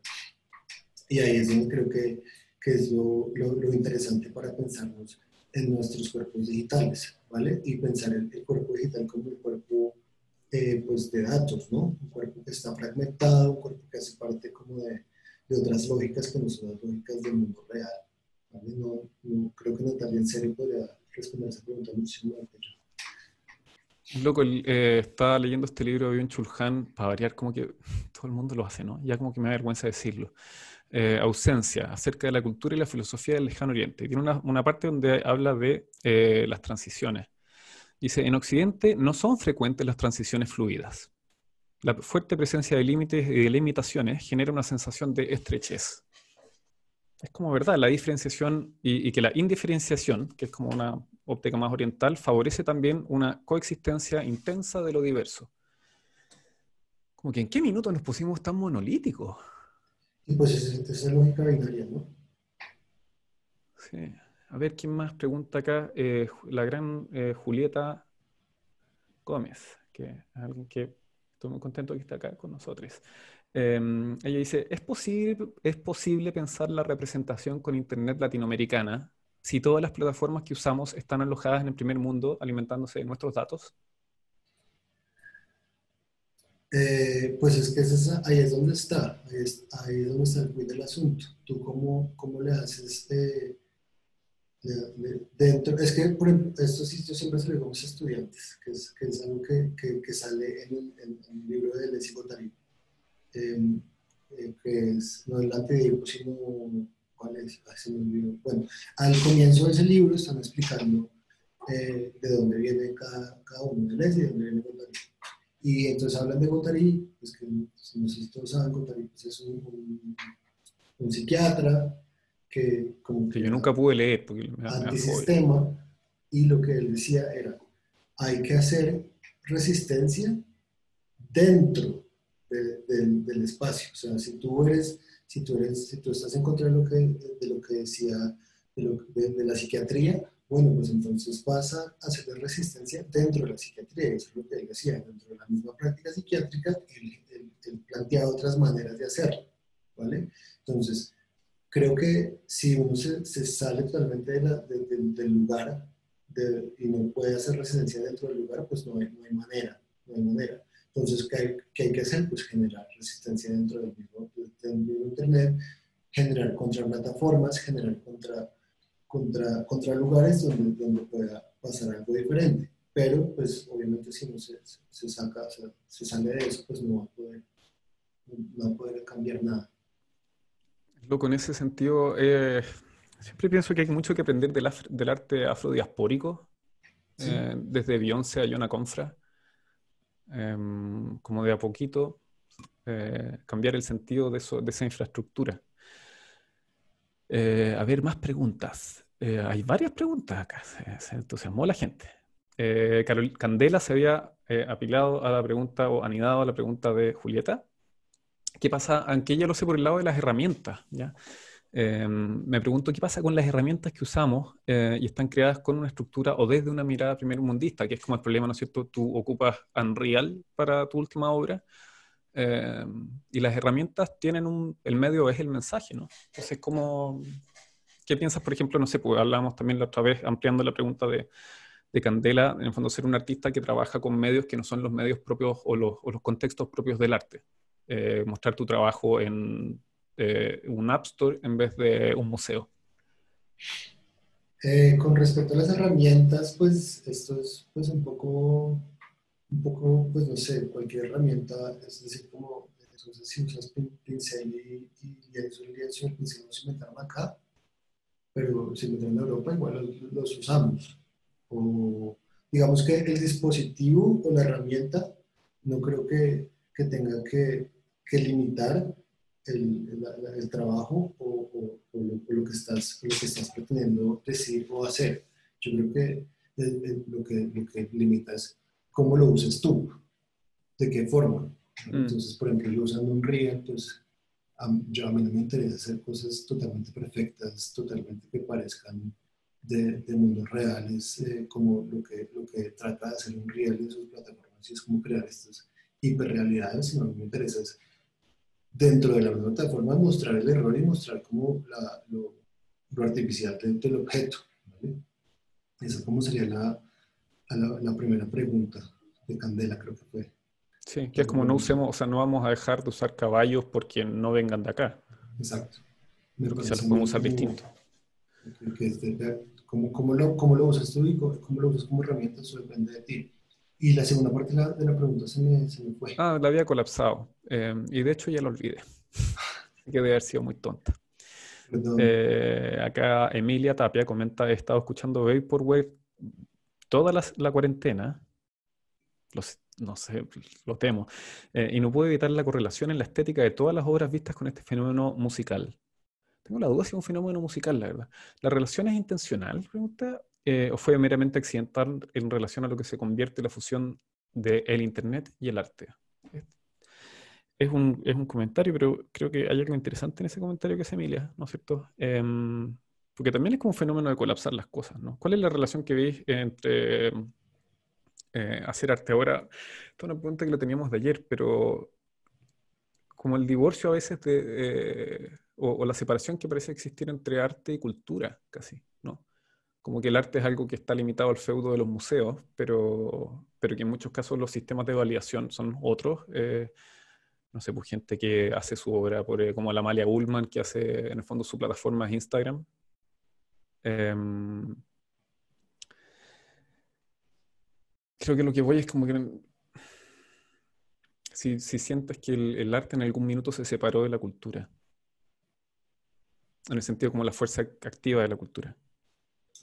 Pues digamos que el arte depende de qué tipo de arte, ¿no? Depende de cuál, de cuál sea el, si estamos hablando de arte contemporáneo de galería y arte contemporáneo de, feria, eh, definitivamente eso se ha convertido en una, digamos, está encerrado y está llevado como a un lugar totalmente diferente.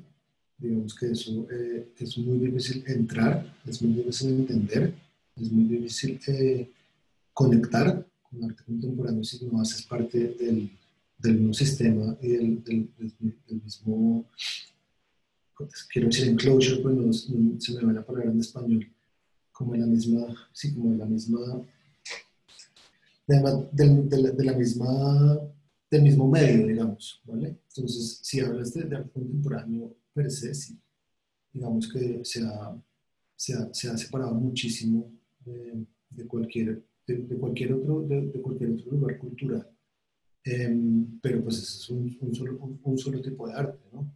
Eh, digamos el arte, em, el arte mediático, el arte digital, el arte digital funciona en, otro, en, otros, en otros círculos y de otras maneras. Entonces, digamos que el arte digital, pues sí está muy, o el arte de, post-internet sí está muy eh, metido en todo lo que es eh, lo que pasa en Internet, y eso es cultura, y esa es la cultura.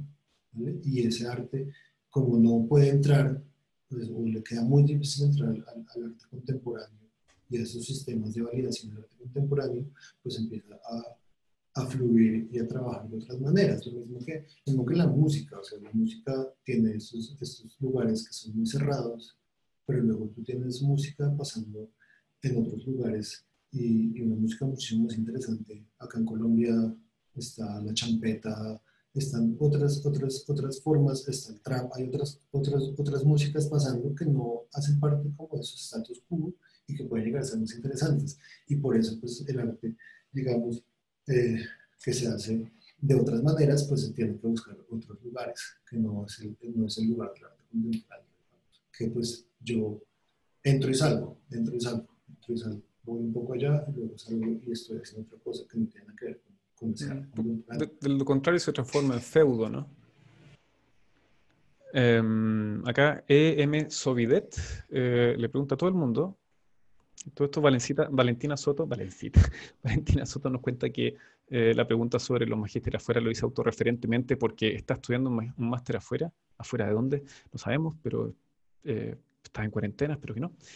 Espero que sí, en realidad, espero que sí, está en cuarentena. Ya. Eh, pero EM Sovidet, después de ella, pregunta el viejo paradigma de la antropofagia y las estrategias culturales de la apropiación y del sincretismo están siendo reemplazados cada vez más por una nueva noción que podríamos llamar el paradigma del desde aquí, que eso lo asocia a lo que preguntaba Valentina también. En lugar de apropiar y refuncionalizar de modo crítico la cultura internacional impuesta, transformándola en beneficio propio, los artistas están haciendo activamente esa metacultura en primera instancia, sin complejos, desde sus propios imaginarios y perspectivas. Está, compleja la, pregunta, pero me encanta la relación que haces con, o sea, me parece interesante la pregunta o el comentario que hace eh, M. Sovidet sobre lo de la antropofagia, ¿no? Em, y tiene algo que ver, pareciera tener algo que ver como con el abuso de las, eh, como el concepto de las políticas, de la política de identidad.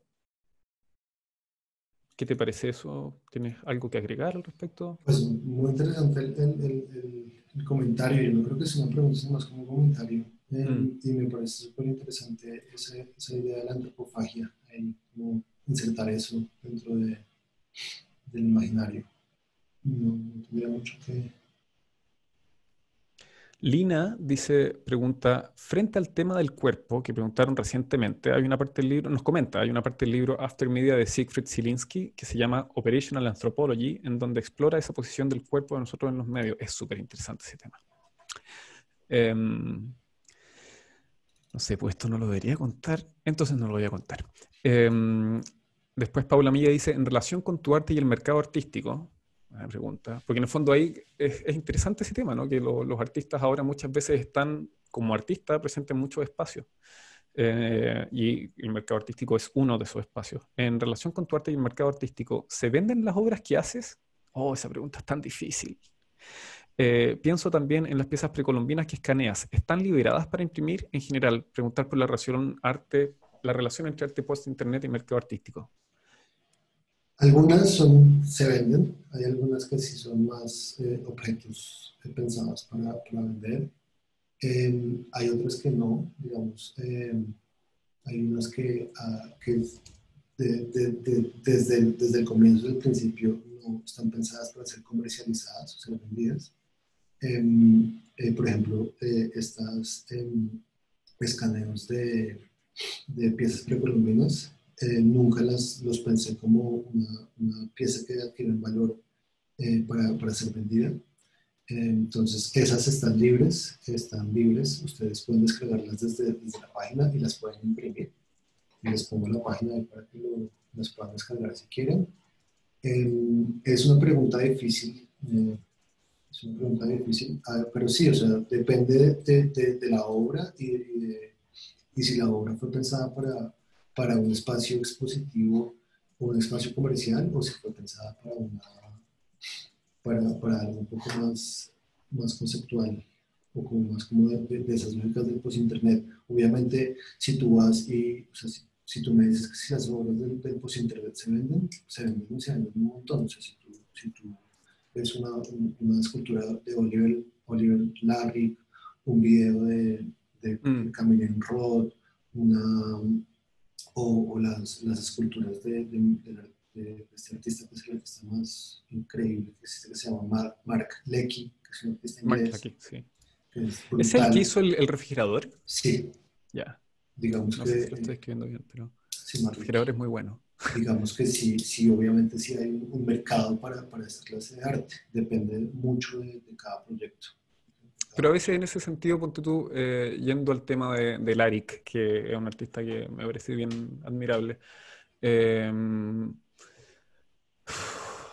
tratando de juntar este tema de eh, la copresencia y yendo a Larik. Eh, cuando Larik hace el proyecto de los Lincoln 3D Scans, en el fondo uno podría pensar que configura una relación entre mercado y un bien, bien común, digamos. Em, ¿Qué te parece eso de como de pensar, la, en el fondo, coexistir en los distintos estamentos en que existe el arte? Como que ves que tiene algunas ventajas, eh, que en el fondo, por ejemplo, tú ocupas la curatoría, o sea, la curatoría se relaciona, te, te permite hacer otras obras, eh, ir a una feria no es como que el arte se trate de ir a una feria, pero, por, ejemplo, ¿cómo afecta ir a una feria o vender una obra eh, en, la, en, la, liberación de, de contenidos, por ejemplo? Depende, por eso digo, como depende de, de, de, de, cuál sea la obra y de cuál sea la idea de la obra. Digamos que con Larry, él sí, sí lo hace como, como, como lo tiene muy claro. Digamos que él tiene por un lado eh, la parte, digamos, de, del escaneo y de la liberación de esas piezas, eh, que fueron de, de, esta, de esta, se llama Lincoln Collection, creo que se llama. Sí. Eh, y él, digamos que de esas piezas, pues saca unas piezas escultóricas muy, em, pues increíbles, o sea, son alucinantes, eh, donde el, como que le el valor agregado de la materialidad que le da es como el uso de diferentes materiales en la misma pieza, entonces usa como resinas y luego usa mármol y luego usa yeso y como que todo lo va, lo va juntando. Y pues eh, él es como, digamos que un referente obviamente muy importante, muy importante dentro de toda esta, de esta idea de la lógica, del post-internet y de la, de la copia como un objeto, un objeto comercializable, ¿no? Entonces él ahí eh, no tiene ningún problema en, en, en, ese objeto que está liberando eh, por medios, em, por estos medios digitales, luego volverlo a una escultura y venderlo, ¿vale? Él sí está como él no tiene, él juega en, los, dos, ámbitos muy grandes. Es loco en ese sentido igual que, él, no, él, él, no está usando eh, arqueología, él está usando como otro tipo de, de otro tipo de, de objeto, el que es, mm. el busto clásico, que es, es, otro, es, otro, es otro, otro lugar desde donde él trabaja, creo yo. Sí, a veces da, me acuerdo que, y esto supongo que mucha gente le pasa y es como experiencia clásicamente, nuestras estructuras de hacer arte y cultura son distintas, ¿no? Pero yo tengo que confesar que cuando vi eh, la serie Link contra Scans y vi una foto del escáner que ocupaba, me corroyó una profunda envidia. No, pues yo no, yo no uso esos escáneres, yo uso cámaras fotográficas y sí. son procesos muchísimo más largos. Y es como, no sé, pues supongo que a ti el proceso de ocupar cámaras fotográficas y ver cómo se hacen, no sé, pues las cosas en otros lados, como que es importante valorizar esos procesos, ¿no? Como que no dejar de hacer algo porque no tienes acceso a la herramienta primer mundista. Claro. Em, había otra cosa también me llamaba la atención en relación a artistas como Larik, eh, pero es como la relación entre, de alguna manera, estos artistas que empiezan a ocupar estas herramientas eh, se constituyen como, como que su autoría se transforma en liberar un, un medio o un, un, proceso, ¿no? Eh, se ve harto, no sé, pues el, el Corey tiene como que tiene liberada su lista de ideas y qué sé yo. Eh, y en el contexto latinoamericano, a veces no me, me, cuesta no vincularlo con la idea que nosotros tenemos de libertador como autor. Eh, entonces, a veces como que tú, no sé, eh, yo leo estos procesos como, como de nueva autoría, que son procesos que en el fondo son los procesos de la independencia de América, casi. Em, ¿Qué opinas de cómo en el fondo cómo se está transmutando, cómo se está transformando la noción de autoría en este contexto de que la copia está bien, que en el fondo la autoría más allá del objeto, ¿no? Sí, es que yo creo que ahí lo que, lo que está pasando y es como es esta idea, pues que acá en Latinoamérica creo que sigue siendo muy, muy fuerte, es como esa idea del arte objetual, de, de la obsesión por el objeto, ¿vale? Entonces, cuando, cuando se crea arte, es como, esta es mi, mi, mi, pieza de arte, es mía, yo la hice y, y, no hay más. Y no hay más. Eh, y digamos que con estos nuevos procesos, eso ya no, ya no hace no es tan importante, ¿vale? Entonces ahí se está transformando hacia el arte procesual, hacia lo que importa es lo que llevó a, ¿vale? Lo que, lo que me hizo llegar a esto, ¿vale? Entonces la copia se vuelve importante en el sentido de lo mismo, de la replicación y de cuántas veces fue replicada, entonces, no, la, vuelvo al, ejemplo, digamos, voy a poner otro ejemplo, el, la, la, obra, no sé si ustedes conocen a Moreshi Mayari. Ella hizo también una, una, obra que se llama eh, Material Speculations, que siempre la pongo de ejemplo porque me parece una obra bastante importante en, en esta clase de lógicas. Eh, ella, ella hizo una, eh, cuando en el, eso fue como en 2015, 2014-2015 creo que fue, ISIS, ISIS eh, entra a Mosul, entra a los museos y rompe un montón de, hace como iconoclastia y hace un montón de, de actividades donde rompe un montón de, piezas arqueológicas eh, pues, irre, irreemplazables, digamos, y entonces ella eh, hace como un, acto como muy bonito, muy poético, donde por medio de tecnologías 3D vuelve y reconstruye estos objetos y adentro de los objetos les mete una, como una pequeña USB con toda la información que ella pudo recaudar del objeto. Entonces, este objeto, digamos, es un objeto que ya no fue o ya no es, pero que vuelve a ser, que vuelve a ser como un lugar de memoria y es, un, es como un lugar que contiene memoria y, y funciona así. Entonces, el objeto como tal, digamos, su, lo, importante del objeto. Y el objeto además eso, ella lo pone en Ryzen.org y uno puede descargar el objeto y lo puede imprimir también. Entonces, ese objeto ya no es importante, digamos, por, por, lo que fue, sino por lo que puede llegar a ser, por su potencial. ¿vale? Entonces, ese es el valor. Ah. Es, es, muy bonito porque es muy poético y es entonces esa transformación de lo material. Y entonces, el, el ISIS rompe estos objetos por propaganda, porque realmente no es porque, sino pura propaganda. pero entonces luego ella, de una manera muy bonita, pues le, le, le, da como esa nueva vida, esa nueva vida a estos objetos y les da una, una posibilidad de ser. Entonces, Qué poético, ¿no? Porque los transforma, en el fondo, el, el, objeto original, digamos, era un, se había transformado en un registro, pero cuando ella lo reproduce, lo, lo vuelve a transformar en un lugar de memoria que es mucho más vivo que un registro. Es un lugar de memoria. Entonces, eso es muy importante, es muy bonito. Es, es máxima la Moreshin. Entonces, ella, ella, digamos que es otra de esas artistas que también viene de la periferia un poco, viene de, de, es un artista que viene del Medio Oriente, que está en, en, Nueva York, que está haciendo arte desde Nueva York, pero que tiene unas, unas prácticas que de pronto no son las prácticas del arte contemporáneo de la, de, de, pues de la galería o, o de la feria, uh -huh. pero, que es, pero, pero, que es un arte que sí puede vivir en un museo, que tiene un valor, un valor que puede llegar hasta exceder ese otro valor del arte que se encuentra en la feria. Entonces, también es como tú, tú para qué quieres el arte, para, para venderlo en la feria o para, para generar cambios y generar procesos de pensamiento. Entonces ahí también es como, ahí es como unas decisiones que uno tiene que ir tomando. ¿no?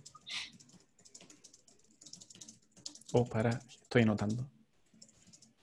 Eh, por mientras, la encuesta, que ya la terminé, tengo los resultados, los voy a lanzar, está divertida, ¿no? Eh, ahí lancé los resultados. ¿Hay arte post-internet en Latinoamérica? Lógico, vivimos en post-internet y claro que sí, un poco menos que el lógico. ¿no? Eh, siempre alguna pregunta que es como pregunta chiste, porque yo creo que las encuestas deberían tener más chistes. Eh, Vaporwave de galería tiene el 7%. Ya, a veces es como Vaporwave de galería. Pero esta respuesta me parece, me llama mucho la atención, ¿no? Eh, ¿Cuál es la materialidad de una práctica artística digital? Eh, redes sociales, básicamente, o sea, gana todas las anteriores, pero redes sociales se percibe como algo que tiene mucho más que ver con la práctica digital que eh, video, plástica, incluso videojuegos. Me parece raro que nadie haya puesto una plástica. Sí, a mí me parece raro que nadie haya puesto video, ¿no? Pero eh, quizás es como una diferencia entre lo digital y lo electrónico. ¿Tú sientes que hay como, cuál, cuál es la relación entre lo digital y lo electrónico en ese sentido? Esa es una pregunta bastante interesante y digamos que eh, lo voy a abrir un poquito más entre, entre la, la idea de, de, arte y ciencia. Uh, me carga, me carga el arte y ciencia. Uh, ups. Entonces, entonces, digamos que en, en, Latinoamérica, por lo menos, no, no solo en Latinoamérica, mira que yo tenía una, una en, en, San Martín había una, una, una maestría, la primera maestría del mundo de arte y ciencia. Y a mí, yo tenía muchos problemas con esa maestría porque era un poco como que se toma la ciencia, se toma el arte, se trata de juntarlas y lo que se genera es como un poco como, eh, ¿cómo se dice esto? esto? Esto como que simplemente es como ilustrativo de la ciencia. Mm. Entonces se vuelve como una, como una ilustración de la ilustración de la ilustración, ¿vale? Y aquí en Latinoamérica digamos que yo he sentido mucho más con el, el arte y ciencia, el arte y, la, y, la, y, la, y el arte electrónico o la electrónica y el arte es que se queda mucho en el, en, en el, aparato, en el aparato, en hacer un aparato, en, en hacer aparatejos, en, jugar con el aparato, ¿vale? Sí. Que está mal. O sea, yo no, yo, yo no creo que eso esté mal, yo creo que eso tiene, tiene, tiene su, su espacio, pero al mismo tiempo no, no, no tienes un, un, un, astrónomo, no es alguien que cuando tú le preguntas qué hace, dice yo trabajo con telescopio. Ya. Como que dice yo busco estrellas, eh, un y artista entonces, que haga arte ciencia, claro. Entonces, eso pasa mucho acá en Latinoamérica con esa idea que tenemos de arte y ciencia o arte electrónica. Entonces, como si yo soy artista electrónico, entonces hago estos aparatos. ¿Vale? Y no, y sí, o sea, yo tengo, yo, yo peco porque yo yo trabajo con arte y tecnología o, o arte y, y, nuevos medios, como sea, pero yo no soy un, un, experto en esas cosas. A mí me gusta más es como pensar las cosas, pensar los procesos que hay detrás de esas cosas, más que volver un experto en esos, en esos, en esos temas. Entonces, digamos que acá pasa mucho que es que lo que el, este arte y ciencia, arte y tecnología, igual que el arte contemporáneo, se va a una esquina y se vuelve muy técnico. Y se quedan allá muy encerrados entre ellos y como que es muy difícil entrar a, esos, a, esos, a esos sistemas y a, esas formas de pensamiento. Mm. Y eh, entonces eh, el arte, digamos, digital, el arte electrónico, el arte así en Colombia, solo tiene espacio en los maker spaces, en estos lugares, que es muy bonito también porque en esos lugares pues también hay como una cuestión de, lo colectivo, de lo que no es, que no, que no es como solo yo estoy haciendo, sino que hay una colectividad. Pero siento que también entonces se, se, cierra mucho y le da la espalda a muchas posibilidades, creo yo. Como, esa es como mi, mi lectura de, esto de arte y ciencia o arte electrónico. Es complicado porque a veces, no se puede en arte, eh, gracias al maldito Hegel, eh, tenemos esta cosa, ¿no es cierto?, de que hay un culto a la especificidad disciplinar. Estas son las bellas artes y son pintura, escultura y qué sé yo. Y a veces tengo la impresión de que el arte electrónico le pasó una cosa un poco parecida, o la relación arte y ciencia le pasó una cosa un poco parecida, como de constituirse como nicho antes que como expresión. Exacto. Y conservarse como que el, peligro, ¿no es cierto?, es que terminéis haciendo como un gremio de pintores que no pintan, un gremio de artistas científicos que no hacen ciencia, y eh, es, es, un peligro, es como que algo que no, no, debería pasar. Sobre la ilustración también es complicado. Eh, además, a veces pasa, ¿no es cierto?, ese tema de que la, eh, el arte considerado como una forma de pensamiento menor, aliada a lo que es considerado como una forma de pensamiento mayor, no sé si hace buen arte o hace buena ciencia. A ver, no me, no me tomes mal, o sea, yo veo, hay cosas, hay gente que lo hace muy bien y que hace unas cosas increíbles. yo, por ejemplo, hay, eh, hay sí referentes europeos que puedo dar como eh, Julius von Bismarck, por ejemplo, un artista alemán, eh, que estuvo, que fue el primer, el primer artista que estuvo en la residencia en CERN, que hace unas cosas con arte de ciencia brutales, pero también, pero entonces lo toma desde otro lado, lo toma desde otra, un poquito hasta, hasta chiste, a veces. Entonces es como, como que, el, por ejemplo, una vez, en, creo que en un, en un Basel, se metió en una, en una en, un, plato que, que, giraba, que giraba, giraba, giraba, y vivió ahí todo, la, todo, el, todo el tiempo que estuvo en base, estuvo base, por ejemplo. Y pues estaba hablando de la gravitación y de unas cosas, claro. viajes espaciales, pero como que lo toma de otra manera. Como que, o, cuando estuvo en CERN, él, lo que hizo fue una, una, escultura que eran unas, unas lámparas que, que, que oscilaban en dos cuartos diferentes y cada, creo que cada, cada 72 oscilaciones llegaban, estaban otra vez juntas y otra vez volvían al caos. Y pues estaba hablando de la teoría de la relatividad, relativa del caos, pero pues era como de unas, unas maneras un poco más, más sensibles, un poco diferentes, no sé.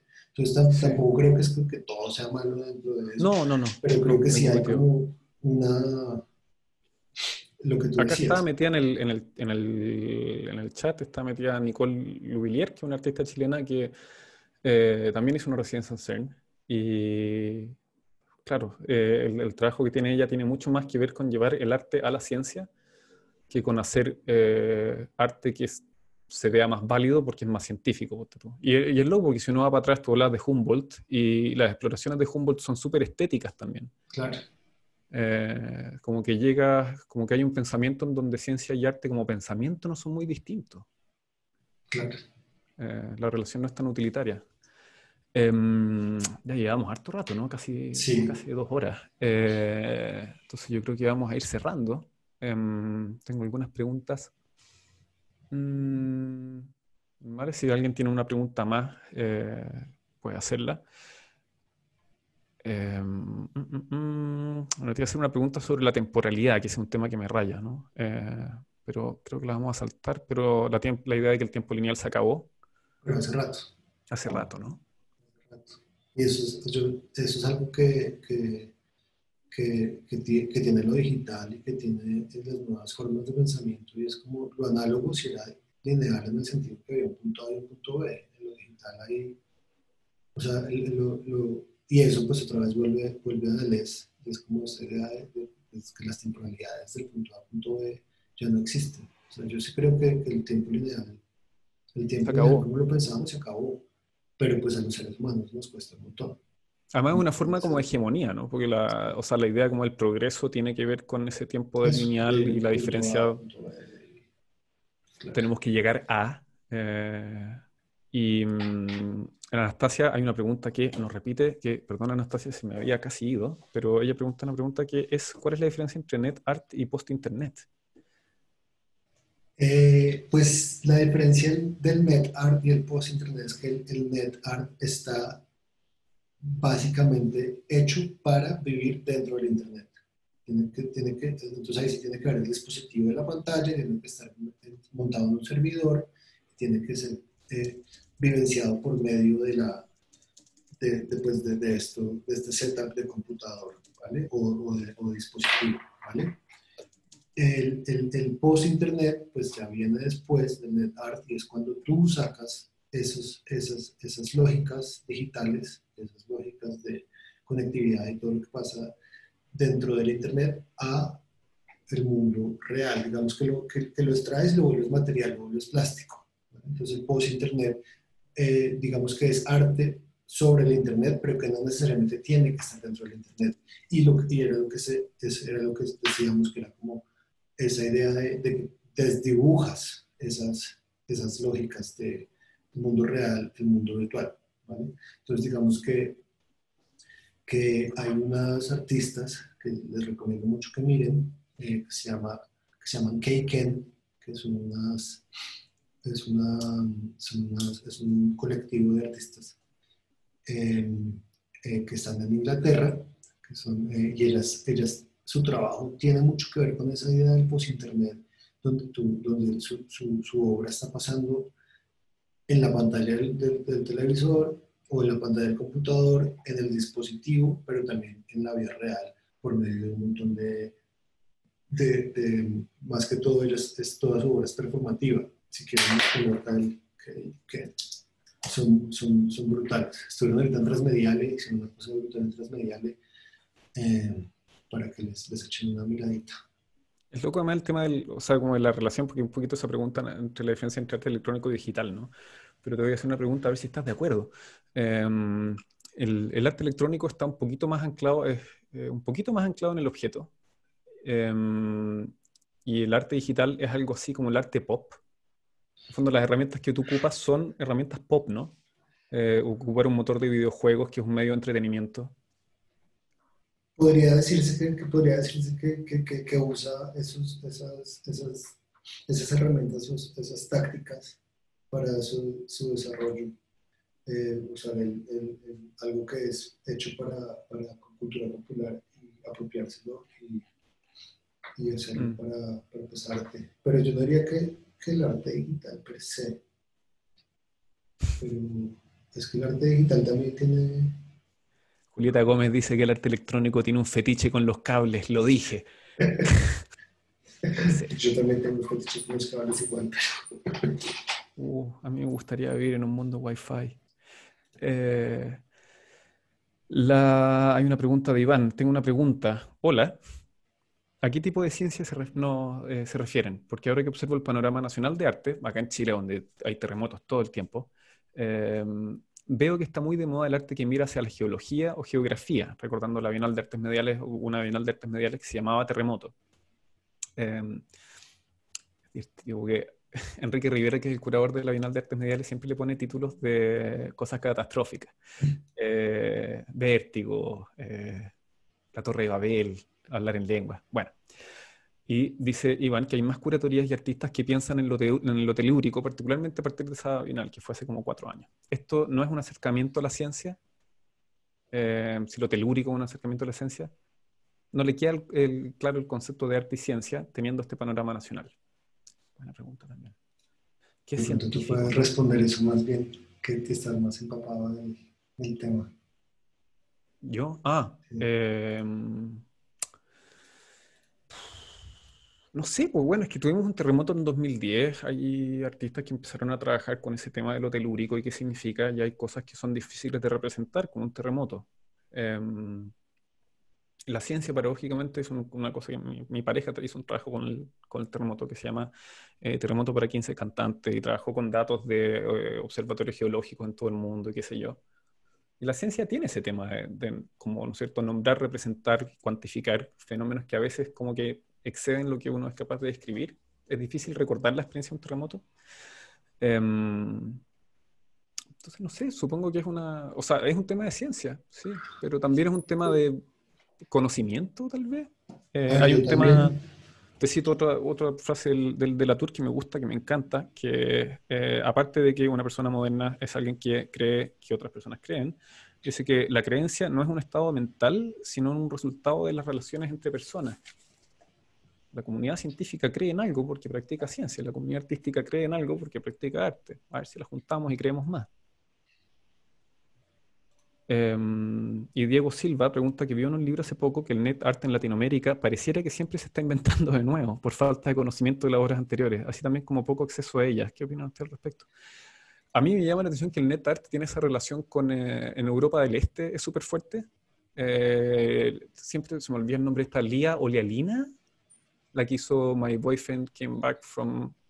Ah, sí, sí, sí, sí. sí olealialina, una cosa así. Eh, pero súper fuerte en Europa del Este, en, donde coincide el NetArt con la relación de abrirse, eh, como que se cae el muro, se abre el mundo, y también el NetArt es como voy a hacer arte con abrirse al mundo. Y es bien curioso que no haya pegado tanto acá. Pero a ver, acá yo eh, con, respecto a, esa, a, esa, a, esa, a, ese comentario, yo creo que aquí sí hay un, un, un problema de arqueología de medios bastante fuerte con respecto a lo que se ha hecho o no se ha hecho en el arte. Por eso cuando yo llegué aquí a Colombia y me puse a investigar, me di cuenta que primero no había mucho, había algunas cosas, pero no hay, hay algunos nombres, algunos, pero no fue como una, una, gran explosión.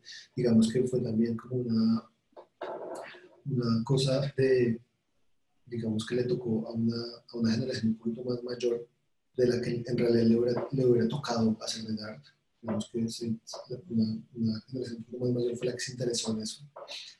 Eh, y la mayoría de trabajos o no están en línea, que es lo que siempre pasa, que, es que eh, se hacen, eh, digamos que esos trabajos, la mayoría seguro están como en Java, Java a secas, y eso pues tener Java hoy en día en Internet es bastante caro y bastante difícil. Entonces, por eso mismo, yo ahorita estoy interesado en eso, en llegar a, a, poder tener eh, una, una, arqueología en medios latinoamericana donde no sean solo listados de eh, esto pasó este año y uno le da link y no hay nada, sino empezar a recuperar eso y tenerlo en una repostería donde podamos, tener, donde podamos ver lo que se hizo para, para eso, para que no se siga reinventando y no se vuelva a hacer lo mismo. Pero yo creo que sí hace, acá sí hay una, digamos que en, en el mundo del primer mundo, pues está Horizon.org y ellos llevan muchos años trabajando en eso y tienen una arqueología de medios increíble. El año pasado hicieron una, una exposición, fue el año pasado, hace dos años, una exposición que se llama Art, Art Happens Here en el, en el New Museum, creo que fue, donde, donde era todo respecto de esa, de esa mm, Eh, mira, está Natalia Marín, que es, está hablando, de, ella, ella sabe mucho más de eso que yo. Em, sí, no, estamos bien agradecidos. Estas son buenas instancias para. Después estos chats también los vamos a compartir. Natalia es, es muy bueno. Sí, Andrés Urbano es uno de, los que. Pero eso creo, Natalia, creo que ya no está, ya no se puede, ya no se puede acceder. No, que eso siempre eh, pasa, ¿no? Es lo que pasa. Eso es lo que está pasando. Pero bueno, entonces... Eh, en Chile nosotros tuvimos una trinal, tratamos de hacer una trinal, era tan ambiciosa que se iba a llamar la trinal de Chile, ¿te imaginas? No de una ciudad, de un país completo. Y no alcanzó ni a, no alcanzó ni a hacer dos veces y la página web duró como dos años. Y no quedó ni en Wayback Machine. Por eso, eso es lo que pasa y ese siempre sido el problema de, los, de, los, de, de la creación artística por esta clase de medios, que es muy difícil o que es muy difícil de mantenerlos y, y, tenerlos en, unos espacios donde se puedan consultar. Lo mismo que el video en algún punto eh, pierde el, formato, entonces siempre hay que estar cambiando de formato para que, para que sea actualizado, porque hay veces hay formatos ya muy, antiguos que no se leen. Entonces, cualquier, cualquier trabajo en medios tiene ese problema. Y ese es un problema que, no, los museos y los curadores y, los, los, conservadores no han querido o no, no, se ha tomado la suficiente, no, se, no has tomado la suficiente importancia para poder lograr una, una manera de, de, conservar esta clase de trabajos. Y en el mercado, pues es evidente. Bueno, y para ir cerrando, eh, preguntas, eh, estas preguntas creo que las vamos a hacer siempre en los conversatorios. Artistas que estás mirando ahora, que admires, eh, ojalá colombianos porque no conocemos mucho. Hay un problema como el que el sur global no nos, no, nos relacionamos tanto. Eh, que estoy mirando ahora, em, que estoy mirando, pues, digamos acá en Colombia, tengo, em, que no veo acá en Colombia, eh, Juan Obando. Juan Obando. Ajá. Él es un artista post-internet.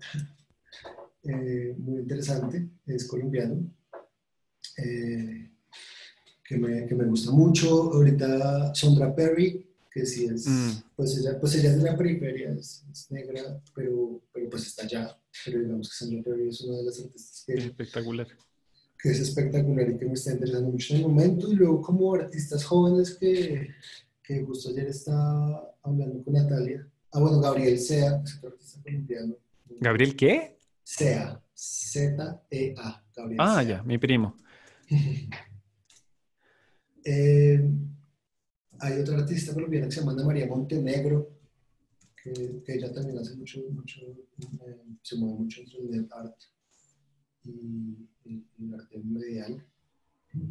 Eh, un artista joven que, que, me interesa a mí mucho y que, he estado, como cual, he estado como, que me, trabajando últimamente bastante, se llama eh, Sebastián Mira. Es un artista joven, muy joven, eh, apenas está empezando, pero, pero tiene, tiene muy, buen, muy buenas ideas y, me gusta mucho la forma que él está, está pensando. También trabaja mucho como entre lo, lo digital, el internet y, digamos, el, lo, más material. Y un artista eh, quiero decir dominicana, pero no estoy seguro si es dominicana, que se llama Gabriel, eh, Gabriela Torres Ferrer, que también me, he estado mirando mucho. Son todos artistas que no son muy conocidos, que son más como que, que, he estado como mirando más como para mis curadurías, las curadurías que estoy haciendo. Sí, Patricia Domínguez me comentabas también de que te llamaba la atención. Ah, bueno, Patricia Domínguez es, uno de mis referentes latinoamericanos más importantes, ya, pero eso ya es como mi, es una, la admiro mucho a ella, me parece una artista brutal y, me, me, gusta mucho. Yo desde que me parecía una artista muy híbrida, ¿no? como que, mm. estaba como en, en, muchos lugares a la vez que me, me encantaba como, como su forma de, de, trabajar. Y bueno, pues el, el, el otro artista así que, que ay, madre, se, se, me fue el nombre de este artista, eh, Lamas, peruano. Uy, acá, acá, uy, Ignacio nos convirtió un montón de material. Qué entretenido. Gracias, Ignacio. Ay, y estaba hablando en privado de las cosas. Entonces, gracias por. Eh, se lo está replicando Natalia, porque el chat tiene una mala costumbre de que cuando alguien me escribe en personal, después tengo que pasarme a público, pero voy a poner, eh, voy a tratar de copiar esto. Ya, sí, perdona. quería decir como el último artista que quería comentar es Nicolás Lamas, artista peruano absolutamente increíble. Eh, él, está él, trabaja desde, desde, Europa hace muchos años, pero su obra es, es brutal. Su obra es, o sea, es de, las, de las cosas que más ha impresionado en los últimos años. Y Gabriela Torres. Ferrer. Sí. Eh, ¿Dominicana? No sabemos. Es que quiero ser dominicana, pero es que no estoy seguro. No, por, eh, costarricense creo que es. Eh, ¿Alguien tiene alguna... Bueno, con eso tenemos harto para ir pensando. De las cosas más importantes de que sirva de esto de que estamos hablando con gente de otros lados, ojalá que bueno, vayamos ampliando las redes, o sea, si, si creer no es un estado de la mente, sino un sistema de relaciones entre gente, ojalá que esto sirva para que podamos eh, creer em, y armar algo distinto, otro tipo de, una cultura mejor, tal vez. Una que no aspire a ser otra cosa, sino que aspire a ser lo que, lo que sea.